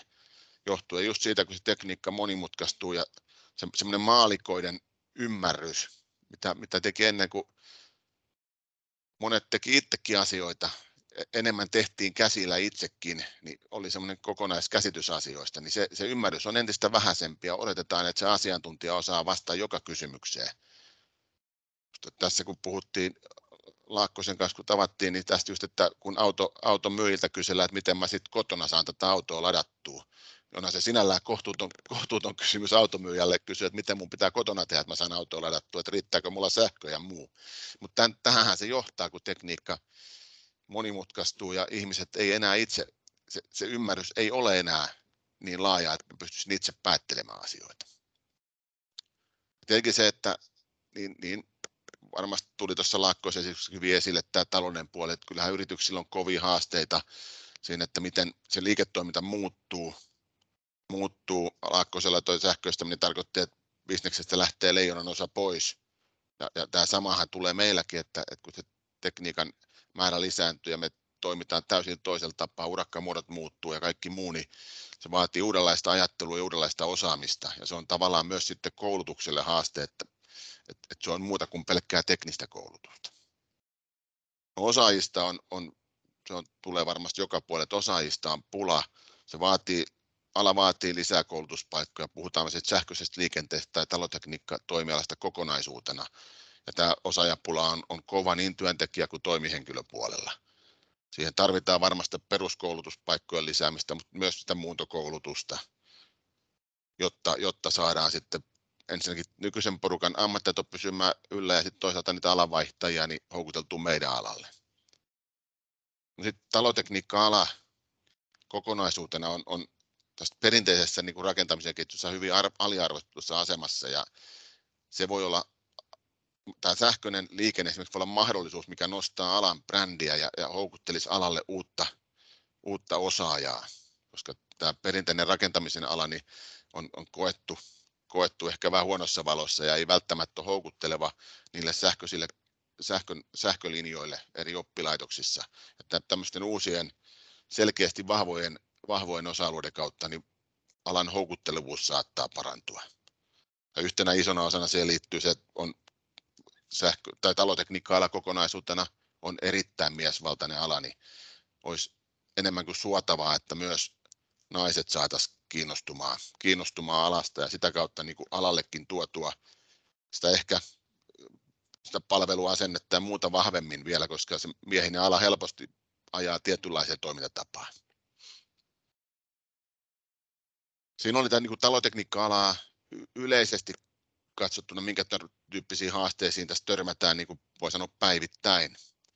Sitten tavallaan ne odotukset niin kuin oppilaitoksia kohtaan, kyllä, kyllä se selvä on, että sitä oppilaitosten ja yritysten yhteistyötä pitää entisestään syventää. Tätä on, tämä on selkeästi mennyt hyvää suuntaa, mutta edelleen, edelleen niin kuin tarvitaan, tarvitaan vahvempaa yhteistyötä, että, että, että löydetään se yhteinen näkemys, miten, miten alan koulutusta pitää kehittää ja siinä on asioita, mitä tuohon on listannut, niin on, on tietenkin se, että yritysten pitää olla siinä aktiivisia ja, ja oppilaitosten hyödyntää sitä yritysten aktiivisuutta, että saadaan yrityksiltä puheenvuoroja sinne koulutukseen. Oli sitten kyse asentajista tai ammattikorkeakoulusta tai yliopisto, yliopiston maailmasta.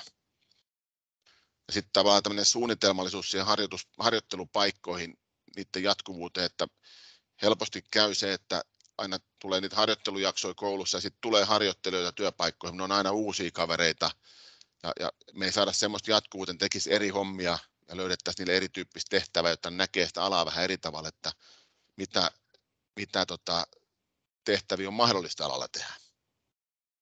Ja sitten ihan tämmöinen, mitä on jossakin määrin toteutettukin tuolla omassa aiemmassa historiassa, että, että on tietenkin tärkeää myös se, että jos, jos tämmöistä termiä saa käyttää, että opettajilla on niitä harjoittelujaksoja työelämän parissa, että se tavallaan se todellinen työmaailma näkyy sit myös sinne kouluun, että mitä, mitä ne tehtävät oikeasti on, mitä ne kaverit tai henkilöt joutuu sitten työelämässä tekemään. Sitten tämä kakkoskohta tuossa, nämä oppilaitos, oppilaitokset saatava perusvalmius, niin se on ehkä, siis se on merkittävästi parantunut. Siinä oli historiassa oli paljonkin haasteita, mutta tänä päivänä rupeaa, rupeaa olemaan hyvässä kuosissa, mutta tosiaan se, että meillä on heti kun niitä harjoitteluja lähtee, että meillä varmasti on ne perusvaatimukset kunnossa, että siellä on tarvittavat korttikoulutukset ja siellä on sitä teknistä perustietoa sille, että me oikeasti pystytään niitä kavereita niihin tehtäviin laittamaan. Tämä on tietenkin haastavaa, kun mikä on se tekninen perusvalmius sitten, kun työelämään lähdetään, mitä pitää tietää, mutta että se, on, se on varmasti, siihen löytyy se yhteinen määritelmä helposti, kun se käydään keskustelua osapuolien kesken. Sitten tietenkin se, että, että oppilaitokset osaa osaltaan sitten markkinoida. Tämä on koko alan haaste. Myös yritysten pitää vahvasti markkinoida sitä omaa alaa houkuttelevana työnantajana, mitä kaikkea tehtäviä se tarjoaa. Ettei, ettei katsota liian kapeilla rajauksilla, että mitä tehdään ja mitä voi tehdä, vaan että meillä on hyvin monenlaisia tehtäviä. Oli sitten kyse asentaja tai työntekijä tai toimihenkilö rooleista. Mutta viimeisen lauseen tuot alareunasta, se, sitä en jaksa koskaan riikaa korostaa, että, Et, et varsinkin silloin, kun puhutaan niin toimihenkilöpuolesta, puolesta, niin käytännössä kaikki ne henkilöt tulee jonkun asteisiin esimies ja tulosvastuullisiin tehtäviin, niin tämä esi, niin johtamisosaaminen ja talousosaaminen ne on äärettömän tärkeitä sen, sen ammatti, substanssio-osaamisen rinnalla. Et se, se on ehkä semmoinen, missä meillä vielä monella saralla riittää, riittää tekemistä. Sitten vielä asiaa niin kuin sieltä opiskelijoiden näkövinkkelistä, että, että tavallaan sitä viestiä, mitä, mitä siellä koulutuksessa pitää saada menee eteenpäin, niin kyllähän tosiasia on se, että se asenne ja halu on se ykkösjuttu. Että jos sulla on asenne kohdallaan, niin kyllä sanotaan, että kaikki asiat onnistuu. Sen kautta tulee se halu oppia ja kehittyä. Ja tänä päivänä tietenkin tämä tietotekniikan hallinta nuoremmin sukupolvissa on entistä paremmin, niin kuin, tässä ei enää osaa neuvoa porukkaa, kun ne osaa paremmin neuvoa sua, miten koneita käytetään, mutta, mutta talotekniikassakin rupeaa olemaan niin paljon mittausta, dokumentointia ihan niin kuin sähköiseen muotoon, että se tietotekniikan rooli, se kasvaa päivä päivältä ja työmaalla katsotaan 3D-mallista rakennuksia ja niin kuin todettiin, että autoja analysoidaan äpeillä kännykästä lähtien, niin, niin, niin tämä tietotekniikan yleinen osaaminen, niin se on, on kyllä ihan äärettömän tärkeä. Ja sitten tietenkin se, että valmiita me ei ole koskaan tosiaan, kyllä meillä niin se jatkuva, jatkuva osaamisen kehittäminen on tänä päivänä, niin kuin sanottu, tekniikka kehittyy, oli sitten kyse akkutekniikasta tai mistä, niin jos kymmenes vuodessa on tullut 5-6 sukupolven akkutekniikkaa, niin kyllä sitä riittää sitä teknisen osaamisen ylläpitoa jatkuvasti. Tässä tälle hyvin nopeasti ja iso asia käsiteltynä, käsiteltynä niin kuin ehkä vähän laajem, isommassa näkökulmassa kuin mitä, mitä tota, pelkästään tämän sähköisen liikenteen näkökulmasta.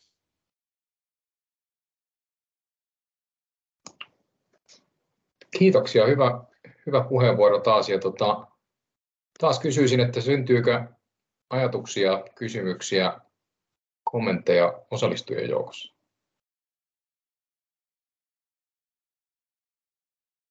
Samalla kun hetki odotellaan, jos sieltä joku, joku nostaa kättä, niin tota, itse tuossa poimin, poimin just sama ajatus oli mielessä kuin mitä, mitä Jarmo mainitsit, että mitä on se perusosaaminen, niin se on varmaan semmoinen hyvä, hyvä dialogi, mitä, mitä pitäisi ja voisi koko ajan niin kuin tiiviimmin käydä, että mikä se on se kussakin tehtävässä ehkä tai kussakin yrityksessä tai, tai alaan liittyen.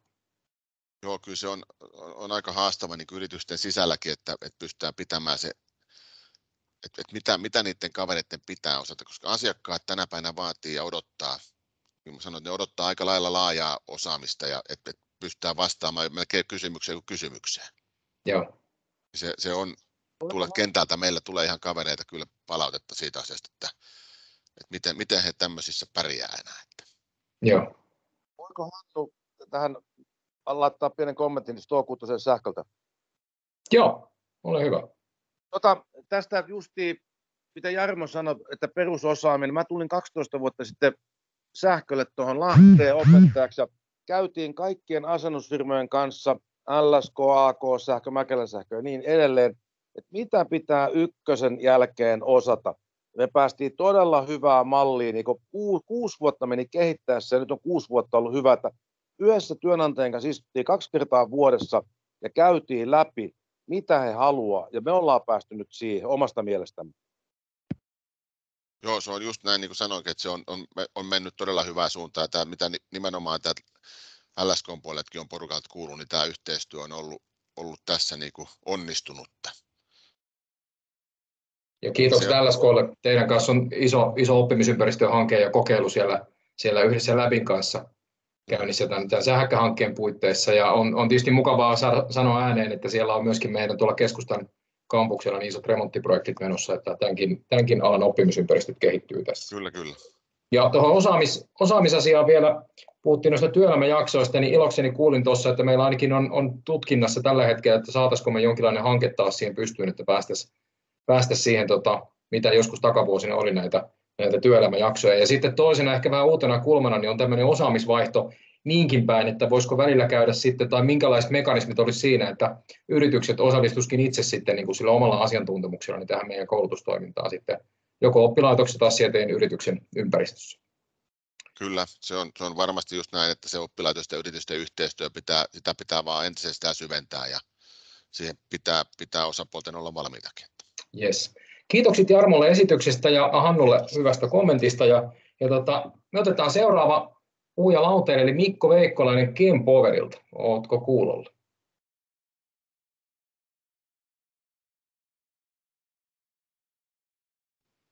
Kyllä täällä ollaan. Erinomasta. Stage is yours. Kiitoksia.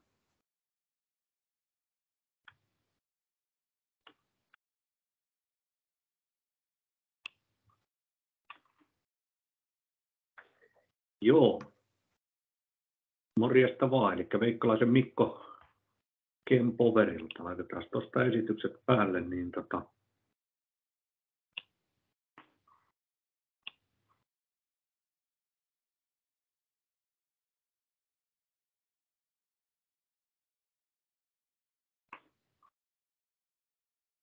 Näkyykö, näkyykö nyt? Kyllä näkyy. Joo. Joo, eli, eli tota, mun vastuulla on Kempoverilla toi tuotekehitys. Ja, ja tota, eli on siltä osastolta, mistä tämä kaikki, kaikki Kempoverilla on alkanut. Alkanut silloin neljä vuotta sitten. Istuin, istuin tähän aikaan konttorissa yksin ja mietin, että mitä hän tässä tekisi. Piirtelin tuotekehitysroadmappia ja businessplania ja, ja, ja tota, nyt ollaan oltu sitten, sitten tota, pari, kohta pari kuukautta julkinen yhtiö. Että tota, siinä mielessä ollaan päästy aika nopeasti, nopeasti eteenpäin ja, ja avainsanahan siihen on, että meillä oli hyvät taustat, taustat sieltä Kempin puolelta Kempin puolelta, josta, jossa 11 vuotta vedin, vedin tuotekehitystä ja lähdin sitten yhden tutkimusprojektin matkaan, matkaan tätä Kempoverin tarinaa kirjoittamaan. Me tehdään, te, julkisuudessa näkyy paljon, paljon henkilöautojen latauksia, mutta, tota, mutta meillä, meillä on kaikki, kaikki nämä kolme liiketoiminta-aluetta on ihan yhtä, yhtä tärkeitä Eli, eli tällä hetkellä kaikista nopeiten kasvaa julkisen liikenteen latausratkaisut. Yhä, yhä useampi kaupunki valitsee sähköiset bussit ja, ja tota, sitä kautta sinne tarvitaan varikkolatauksia. Joissakin kaupungeissa mennään bussipysäkkilatauksilla ja, ja tota, niitä, niitä me tehdään, tehdään tällä hetkellä pääsääntöisesti Euroopassa tulevaisuudessa sitten myös Euroopan, Euroopan ulkopuolella.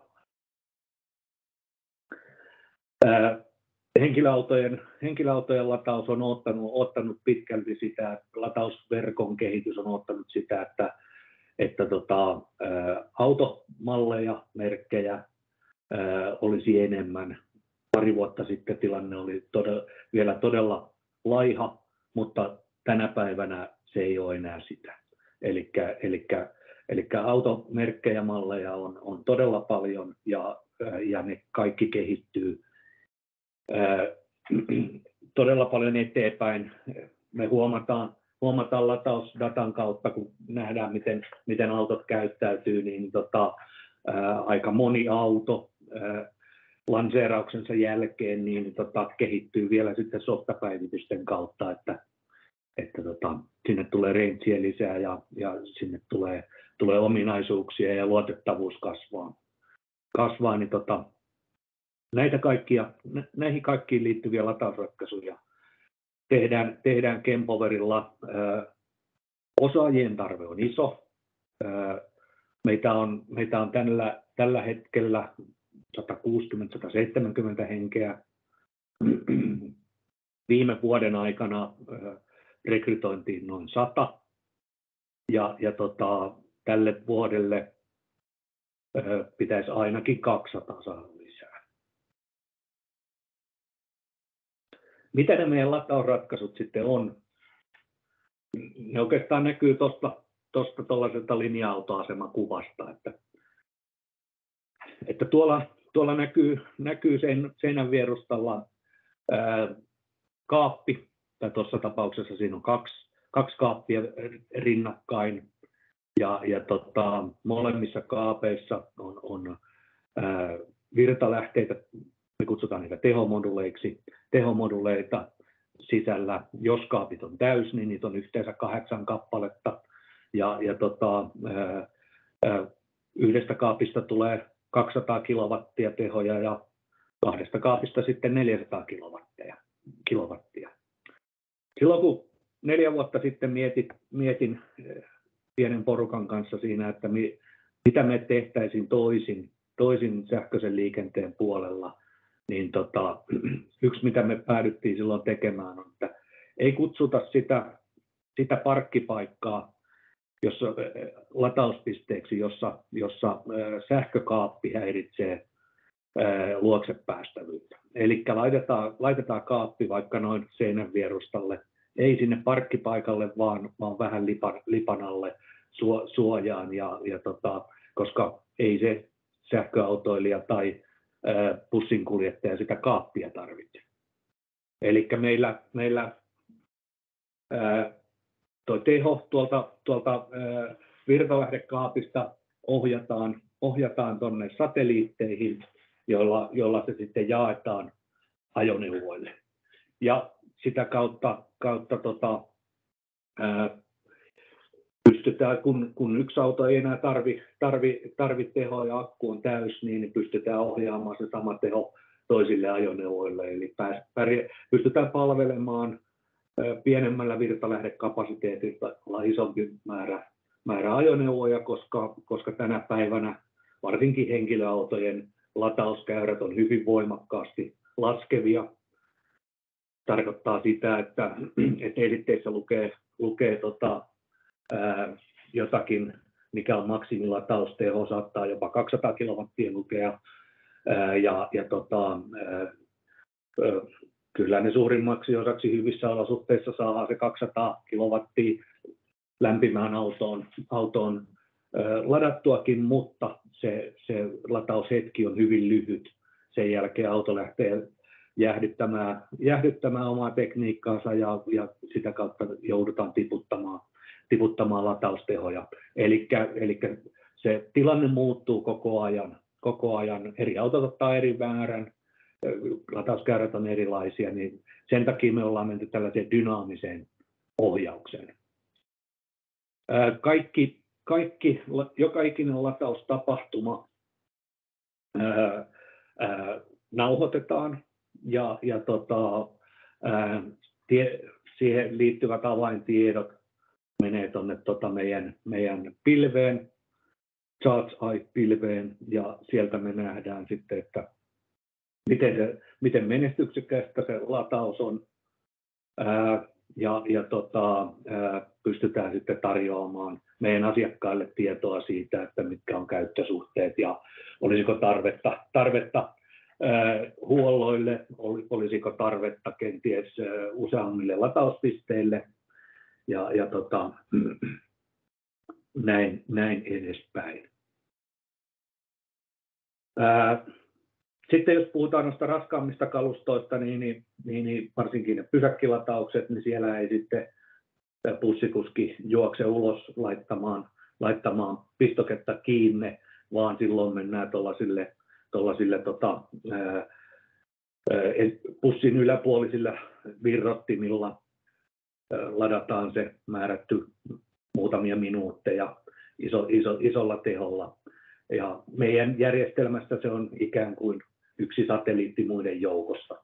Eli me pystytään myös palvelemaan eri ajoneuvojen luokkia samoilla, samoilla latausratkaisuilla. No, mitä, minkälaisia osaamisia tässä sitten tarvitaan? tarvitaan ähm, meillä on tällä hetkellä tuotekehityksessä vähän reilu 50 pääasiassa insinööriä. Tuotekehityksessä on 40 paikkaa tällä hetkellä auki, eli, eli tarkoitus on 40 vähintään rekrytoida tämän vuoden puolella. Mekaniikkasuunnittelu on isossa roolissa eri, eri materiaalien, muovien, ohutlevyjen, alumiinin, extrudaus, työkalujen tuntemus, muovi, muovivalmistusmenetelmien tuntemus. E, totta kai tehoelektroniikka, virtalähteen tehomoduleiden sisuskalut, sitten ohjauselektroniikka, koko järjestelmää pitää ohjata, jokaista tehomodulia pitää ohjata ja, ja tota, erinäiset väylät, millä, millä kommunikoidaan auton, pil, pilven ja, ja sisäisten prosessien kanssa. Meillä on suht samankokoiset tiimi, tiimit. Tuotekehityksessä on melkein jako neljään, että, että meillä on melkein yhtä monta mekaniikkasuunnittelijaa kuin on elektroniikkasuunnittelijaa, kuin on softamiestä ja testausmiestä. Eli, eli testaus, testaus on vähintään ää, sellainen 25-30 prosenttia, koska, koska tota, ää, yli ihmisiä meistä ei ole kukaan ja jokainen tekee virheitä, mutta tota, sen takia me me, me panostetaan paljon sisäiseen testaukseen, että me saadaan ää, ongelmat kiinni ennen kuin ne päätyy tuonne asiakkaille. Käytettävyysasiat on, on isos, isossa roolissa, miten, miten se tota, laite on käytettävissä, mitä käytännön ongelmia kentällä tapahtuu. Me tunnistetaan me ollaan kehitetty data-analyysin kautta sitä, että tunnistetaan jo, pyritään tunnistamaan eri, eri automallit, merkit, jotta, koska niiden, niiden latausten onnistumisissa on isoja, isojakin eroja vielä tänä päivänä, niin pystytään sitten kohdentamaan, kohdentamaan noita tota, korjaavat toimenpiteet oikein. Data-analyysi on nyt tavallaan ja nämä tekoäly, tekoälyn käyttö siihen niin on, on sellainen, mitä, mitä esimerkiksi Kempillä ei, ei niin laajasti käytetty kuin, kuin meillä. Meillä. Ja teollinen muotoilu, nämä tulee näkyville paikoille. Ei, jos, ei ole yhden tekevää, minkälainen laatikko tai pömpeli siellä on. Ja, ja tota, suunnittelun pitää olla, olla tarkoituksenmukaista. Meilläkin on ne appit, appit ää, mutta meillä, meillä pitää, pitää osata tehdä niitä appeja. Eli, eli me tarjoillaan myös, myös tuo ei ole oikeastaan appi, vaan, vaan, vaan tota, kännykkäkäyttöliittymä web-sivulle, jolla, jolla tota, pystytään sitten antaa niin kuin yhdenvertaista vertaista, tota, ää, tietoa siitä riippumatta, minkä merkkisellä autolla tulee, koska eri, kaikilla autoilla ei ole omia sovelluksia ja autojen sovellukset eroaa paljon toisistaan.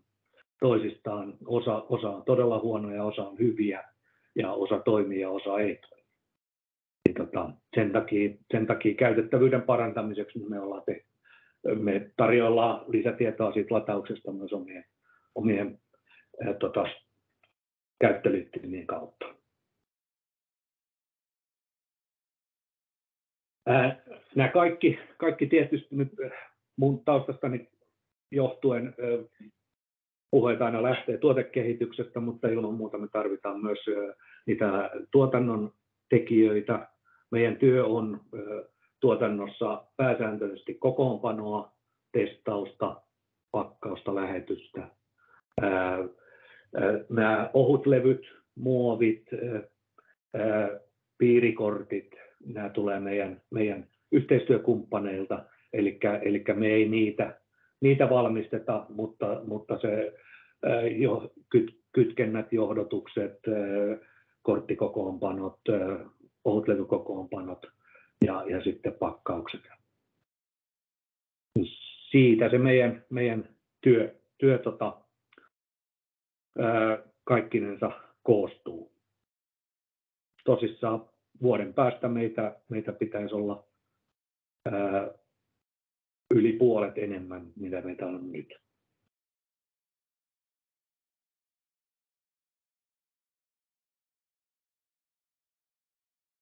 Tämmöinen tarina. Oliko, onko tähän liittyen kysymyksiä? Joo, kiitos. Tota, Markolla ainakin nousi käsi ja sitten siellä tuli yksi kommentti. No niin. No niin. Eli tota, tuli mieleen, kun Kempovari hankkii näitä dataa näistä autoista. Ja tota, onko se niin, että se on yrityksen sisäiseen käyttöön nyt, kun näitä eri käkkäreitä on niin kuin mallia merkkiä Aasta Öhön, vai onko, onko tässä niin, että anteeksi karri, karrikoitu, niin esimerkkinä tämmöinen herra Trafi, joka sitten kerää dataa ja myy ne niin kuin eteenpäin, vai onko tämä niin kuin Kempin omaan käyttöön näiden eri automerkkien data siitä, miten tämä lataus peuhaa. Semmoinen asia niin kuin tässä itselle tuli niin kuin mieleen. Joo, se, se, se data, on, data on meillä, meillä sopimuksien mukaan meidän asiakkaan dataa, jota, jota me pystymme käyttämään kehitystarkoituksiin ja, ja jonkun verran ää, niin kuin, ää, muuhunkin tarkoitukseen, kunhan sieltä datasta ei saa näkyä se asiakas ja mikä asiakkaan latauspiste tai tällään läpi. Ja, ja tota, se, mitä me ei kerätä, me ei kerätä, kerätä tota, autojen makkiosoitteita esimerkiksi, koska se on GDPRn alaista, alaista, alaista dataa. Ja, ja tota, tämä autot on tuolta osin, osin osa, osa, osa autoista esimerkiksi tänä päivänä niin, niin tota, ää, muuttaa makkiosoitettaan eri latausten välillä. Eli vaikka se on niin kuin yleisesti totuttu, että, että niin kuin nimeä tai osoitetta ei, ei, ei muuteta, niin, niin tota, varsinkin saksalaiset autovalmistajat tekevät sitä, että, että samainen auto esiintyy eri nimellä eri lataustapahtumissa.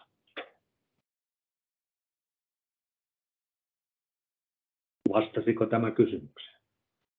Jees, vastas. Oikein hyvä, kiitos. Hyvä, tuonne on chattiin tullut, tullut hyvä kommentti tai pohdintaa just siitä, että miten tota, yritysten puheenvuoroja, kun on nyt kuultu tässä ja, ja tavallaan niitä koulutustarpeita, että minkälaisia, minkälaisia niin kuin toiveita on oppilaitosten suuntaan ja toisaalta taas niin kuin oppilaitoksessa koetaan, että ehkä sitä, sitä koulutusta pyritään siirtämään sinne työelämän yhteyteen, niin, niin nyt kun Kempovero vielä tässä linjoilla, niin meillä on ollut Kempoveri ja teidän, onko se nyt sitten serkku vai sisar vai veljesyritys, eli, eli Kemppi, paljon on yhdennäköisyyttä teidän tuotteissa ja logoissa ja, ja varmaan tällä hetkellä se niin kuin, sanotaan omistajapohjassa on sitten se teidän, teidän isoin yhteinen, yhteinen liittymä, niin siellä on nimenomaan pohdittu teidän, teidän kanssa, viittaan teidän nyt näihin kahteen, kahteen yritykseen sitä, että miten näinkin rajun kasvun alla voitaisiin tukea sitä teidän rekrytointia ja, ja sitä, että kuinka, mitä ne on ne perustaidot tässä kohtaa, että voidaan, voidaan esimerkiksi kouluttaa niin, että saadaan henkilöitä sinne työskentelemään, niin että he pääsevät alkuun ja voisi se osaaminen kehittyä siellä työn yhteydessä, tai miten voidaan nykyistä henkilöstöä siellä olevaa edelleen kouluttaa sitten niin, että se osaaminen on mahdollisimman sopivaa siihen tekemiseen. Eli tämä pohdinta on ollut ihan, ihan konkreettista ja voin ihan nimeltä mainita, Mäkäläisen Janin kanssa on tehty tosi hyvää yhteistyötä ja pohdintaa ja terveisiä vaan, vaan Janille ja siihen liittyen niin on juuri aloitettu tämä teollisuusasentajan koulutuksen rekrytointikierros jossa, tai haastattelukierros, jossa sitten on ajatuksena tai tämmöisenä avainkäsitteenä tämä sähkömekaaniset asennustyöt, eli juuri niin kuin, juuri niin kuin tuossa mainitsit, niin siellä on sitä, paljon sitä kokoonpanoa, joka edellyttää sitten erilaista, erilaista osaamista, ei välttämättä täyden sähkömiehen taitoa eikä välttämättä täyden koneasentajan taitoa, mutta jonkinlainen yhdistelmä näitä kaikkia osaamisia.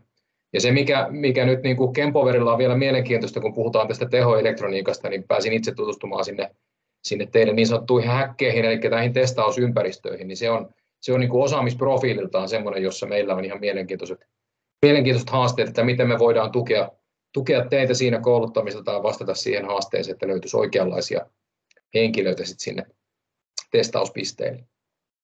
Juuri, juuri näin. Ja, ja pääpaino, pääpaino on se, että löydetään hyviä, hyviä tyyppejä. Ja, ja tota, meillä on myös niin kuin toimihenkilöissä, niin me pyritään mahdollisimman paljon käyttää, käyttää harjoittelijoita, kesäharjoittelijoita, talviharjoittelijoita. Viime vuoden, viime vuoden kesäharjoittelijoista taisi melkein kaikki jäädä nollatuntisopimuksella talviharjoittelijoiksi niin, että pääpaino on se opinnot, mutta jos opinto, opintojen aikana ehtii, niin voi tehdä meille, meille joitain tunteja viikossa. Ja, ja tota, se, että, että siellä on hyviä tyyppejä, osa, osa esimerkiksi koodareista on saattanut aloittaa koodaamisen jo yläkouluvaiheessa, ja, ja tota, ne, on, ne on jo tosi hyviä tekijöitä jo, jo lukion, lukion jälkeen. Ja, ja tota, ää, ää, sen takia niin kuin palo siihen omaan, toi, omaan asiantuntija-alaan ja, ja hyvä, hyvä tyyppi, niin, niin kyllä ne kaikki hoituu. hoituu että niitä, niitä me on yritetty, yritetty hakea, että Kempille ehdin rekrytoida 70 tuotekehittäjää, nyt, nyt Kempoverille alkaa olla, olla saman verran kasassa, että tota, Tämä on, se on haastavaa, mutta, mutta toisaalta, toisaalta nämä, minä nämä haasteet kyllä niin kuin positiivisina ongelmina. Joo. Se on se vanha sanonta, kun, kun tota, että aina voi kouluttaa, miten pelataan koripalloa, mutta sitä ei voida opettaa, miten kasvetaan kaksimetriseksi, niin tässä on sama juttu, että me voidaan oppilaitoksessa rajallisesti ehkä vaikuttaa siihen asennekasvatukseen, mutta jollakin tapaa kuitenkin. Mutta yhtä kaikki itselleni kirjoitin tähän ylös, mitä laaja-alainen tämä on, että en ole tullut sitä sitä ajatelleeksi, että tässä kumppanuusvastaavan roolissa niin täytyy pohtia vielä, että onko meiltä just esimerkiksi sen ohjelmointipuolen osalta niin, niin tota, jatkoyhteistyömahdollisuuksia, että tällä hetkellä se on se yhteistyöfokus siellä, siellä kokoonpanossa ja teidän, teidän niin kuin työsaleissa. Joo. Hyvä. Hyvä. Tämä oli, tämä oli hyvä puheenvuoro, kiitos. Ja onko vielä kommentteja tai kysymyksiä osallistujien joukossa?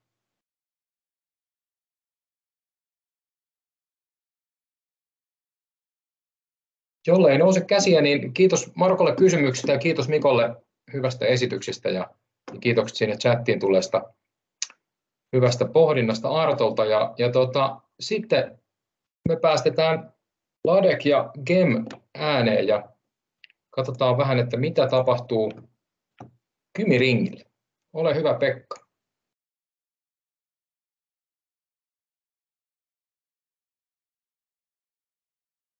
No niin, kuuluu puhe paremmin kuin avaa tuon mikin. Kiitoksia. Tuota, Kymiring on tosiaan aiheena. Näkyykö tämä mun esitys?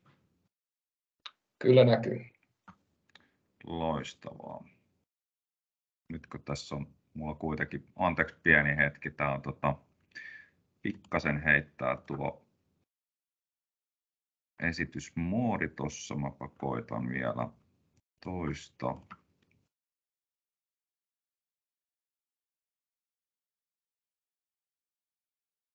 Toimisiko tämä nyt?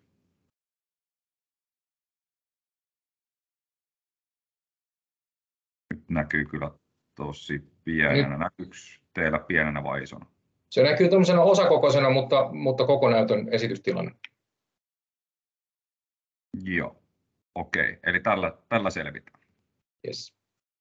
Joo, tota, tosiaan mä oon, mä oon Pekka Komularekista ja Tiina Jauheaisen kollega teen tätä sähköisen liikenteen klusteria myös ja on sitten vielä erikoistunut tähän Kymiringin kehittämiseen ja tosiaan painotus sillä, että en ole sieltä Kymiring Oystä, siitä ratayhtiöstä, vaikka heidän kanssa tosi tiiviisti työskentelen. Eli sitten jos on, on tosi spesifiä juttua, niin voin, voin auttaa ohjaamaan sinne. Tota, Mä uskon, että tämä on tässä kokonaisuudessa, mitä tänään on käyty läpi, niin tämmöinen asia, joka on enemmän tulossa, mutta varmasti mielenkiintoinen monelle teistä ja toivon, että tästä löytyisi mahdollisuuksia ja yhteistyökumppanuuksia tulevaisuudessa. Eli Kymiringhän on olemassa siellä Iitissä ja se on, on tota noin täysmittainen moottorirata, joka on, se rata on valmis ja varikkorakennukselle tehdään ihan, ihan viimeisiä ää, muutostöitä. Tässähän on käynyt nyt niin, että korona-aika on kurittanut aika paljon meitä ja se MotoGP ei ole kahteen kesään pystytty ajamaan, mutta kaiken järjen mukaan tämän koronaepidemian lieventyminen, koronapassit ja muut, mahdollistaa sen, että se MotoGP vihdoin, vihdoin ajetaan tuolla, tuolla Kymiringillä. Ja jos ei ole itse moottoripyöräharrastaja, niin kuin itse en ole, että on joutunut perehtymään asiaan ikään kuin ulkopuolisen silmin, niin saattaa tulla yllätyksenä, että tämä on aivan äärimmäisen suosittu laji maailmalla. Katsojia on paljon enemmän kuin vaikka Formula 1 ja me odotetaan ja toivotaan, että tuonne tulee erittäin paljon katsojia, jotka näkyy sitten myös Lahdessa eri oheistapahtumissa. Se on tosiaan FIAN korkeimman standardin luokan hyväksytyksen saanut tämä rata ja se tarkoittaa sitä, että siellähän voidaan Formula 1 tuon niin radan puolesta kyllä ajaa, että se, se ei ole este tulevaisuudessa, että este on enemmän liiketaloudellinen, että onko se kannattavaa.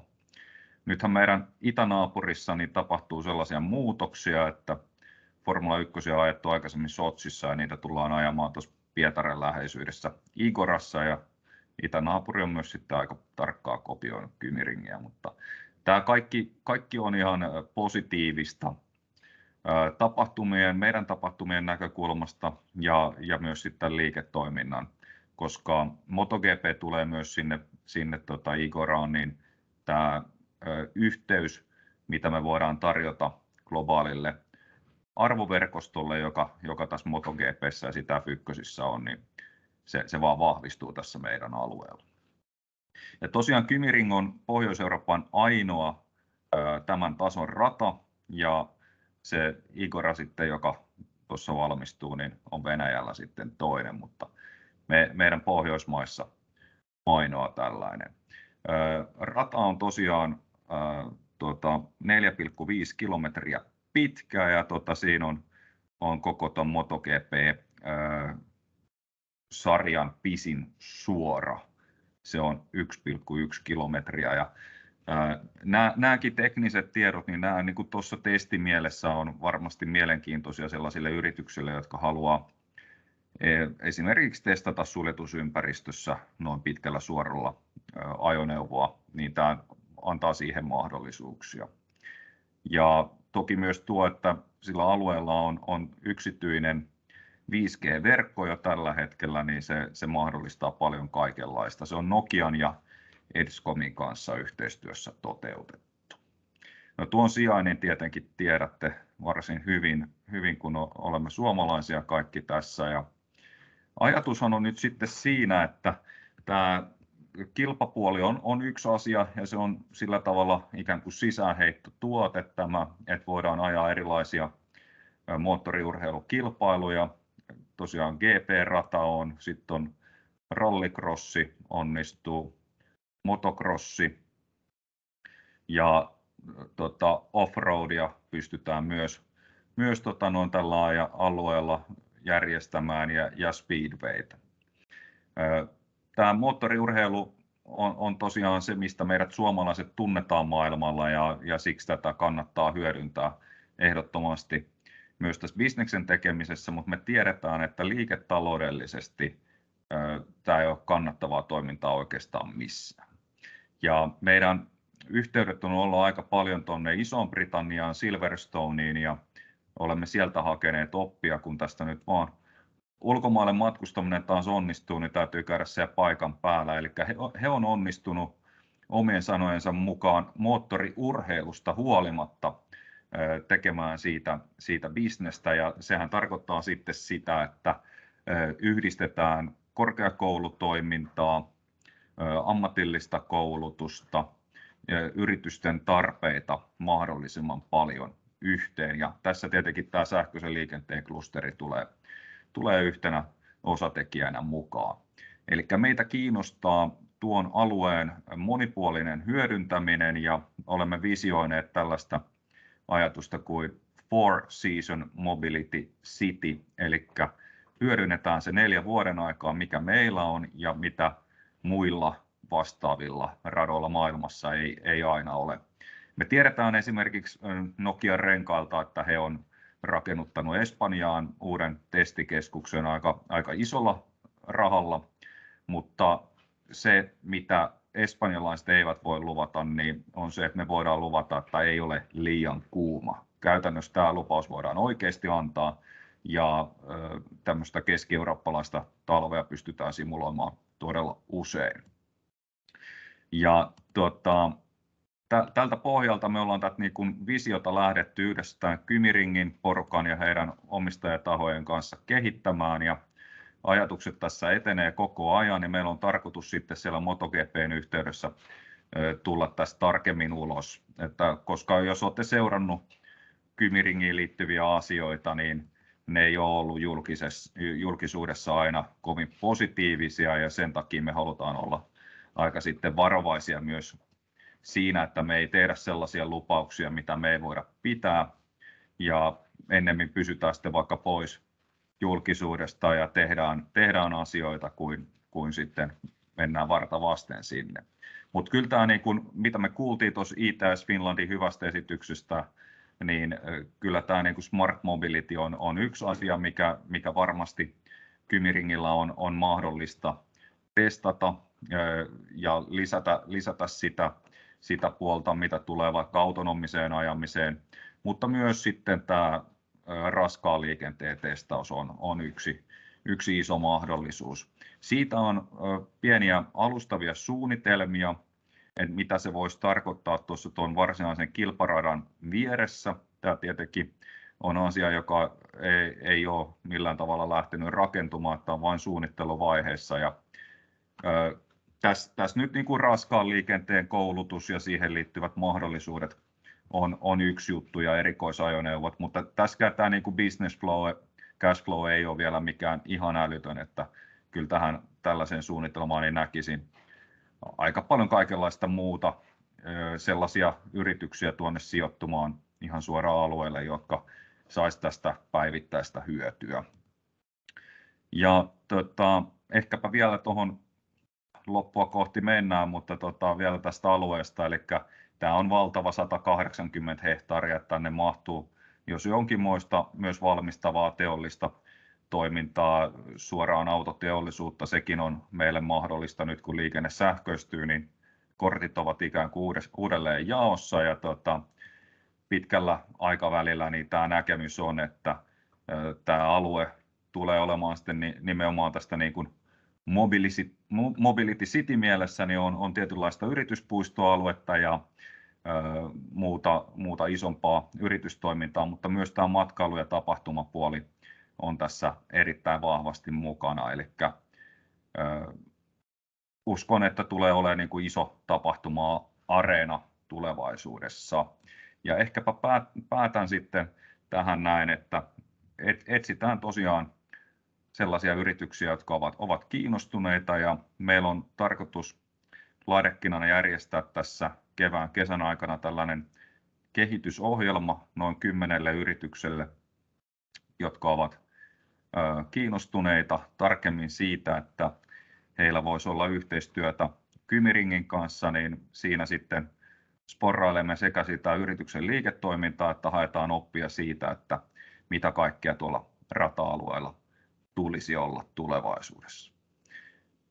Toivottavasti pysyn annetussa aikarajassa, niin tässä on tämä esitys ja vastaan mielelläni kysymyksiin.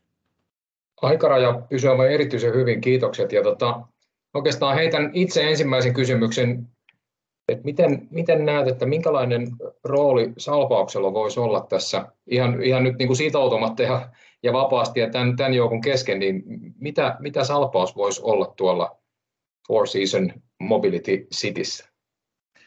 Joo, no tietenkin tässä on tota, se ajoharjoittelu on, on yksi juttu. Öö, tiedän, että siinä on Kouvolahan on lähellä, että heillä on myös varmasti myös, myös halukkuuksia näihin. Että täytyy, voidaan sitten jutella vaikka, vaikka tota, noin tämän ulkopuolella tarkemmin niistä, niistä kiemuroista, mutta tota, öö, se, se itse koulutus siinä on yksi, mutta kyllä mä näkisin silleen, että tässähän niin kuin meillä tämän niin kuin klusterinkin toimijoissa on, on niin kuin useita eri koulutuspolkuja, että ihan suoraan automekaanikosta alan tohtoriksi asti, niin pystytään tarjoamaan e, kaikenlaista. Ja sitten ehkä lisäisin myös sitten tuon moottoriurheiluun liittyvän kasvupolun. Että meillä on alueella Koiranen GP, joka on, on kouluttanut lukuisia Formula 1-kuskeja eri maista ja taitaa tehdä Salpauksen kanssa aika hyvää yhteistyötä. Ja sitten myös tuon liikuntakeskus Pajulahden kanssa ollaan tästä kokonaisvaltaisesta urheilijan kehityksestä puhuttu. Että tässä niin kuin näkisin tota kautta, että voisi olla aikamoisia kehityspolkuja sitten tulevaisuuden, tulevaisuuden opiskelijoille. Itse kun en ole yhtään moottoriurheilutuntia tai en ole seurannut tätä, niin osaatko sanoa, että minkälainen tällä hetkellä on se sähköisen, perustuuko ne polttomoottoreihin vai, vai sähkömoottoreihin, onko ne samassa vai eri sarjoissa? Joo, siis tosi hyvä kysymys. Sen mä unohdin tuossa sanoa, että nyt kesällä kun on MotoGP, niin siinä ajetaan yhteydessä Moto E. Että tämä niin sähkömoottoripyöräsarja tulee, tulee Kymiringille samaan aikaan. Se on todella mielenkiintoinen ja kasvava, kasvava tässä. Ja tota, kyllähän nyt niin kuin moottoriurheilukin haluaa lähteä pois fossiilisista polttoaineista. Tällä hetkellä on tosi huvittavaa, että nämä sähkömoottoripyöräsarjan tämän Moto, e, Moto E'n sähkö, mitä nämä moottoripyörät käyttää, niin tehdään generaattorilla. Eli se, se ei niin kuin käytännössä niin kuin vähennä tällä hetkellä hirveästi fossiilisten aineiden käyttöä. Tässä voisin heittää haasteen paikalla oleville yrityksille, että eiköhän me voitaisiin tehdä sitten sarjan vaikka ensimmäinen osakilpailu, jossa tämä on muu kuin generaattorilähtöinen tämä, millä, millä nämä pyörät kulkee. Että en tiedä mitä kaikkea se vaatii, mutta se sopisi hyvin, hyvin kyllä meidän, meidän imitsiin ja toivottavasti liiketoimintaan. Sitten sen mä tiedän, tämä on siis tosi mielenkiintoista, tämä niin kuin elää niin kauhean nopeata vauhtia, että me tehdään Jyväskylän kanssa yhteistyötä ja se mikä oli aikanaan Neste Rally Finland, niin on nykyään Sekto Rally Finland ja hehän siirtyy, VRC siirtyy tämmöiseen niin sanottuun sähköbensiiniin ja se on siis niin kuin tänä vuonna jo ja Formula 1 siis käydään iso keskustelu siitä, että onko se vety sitten heidän, heidän ratkaisu tulevaisuudessa. Heillä se olisi varmaan nestemäistä mahdollisesti se vety, että se tankattaisi. Et nämä käyttövoimakysymykset on tästä niin moottoriurheilun kanssa tulee, tulee tosi, tosi nopeasti kysymykseen ja siinä voi olla ihan hyvää bisnestä. Mielenkiintoista. Onko osallistujien joukossa kysymyksiä tähän teemaan liittyen tai kommentteja koko edellä kuulusta webinaarista? Voi kirjoittaa myös kommenttikenttään.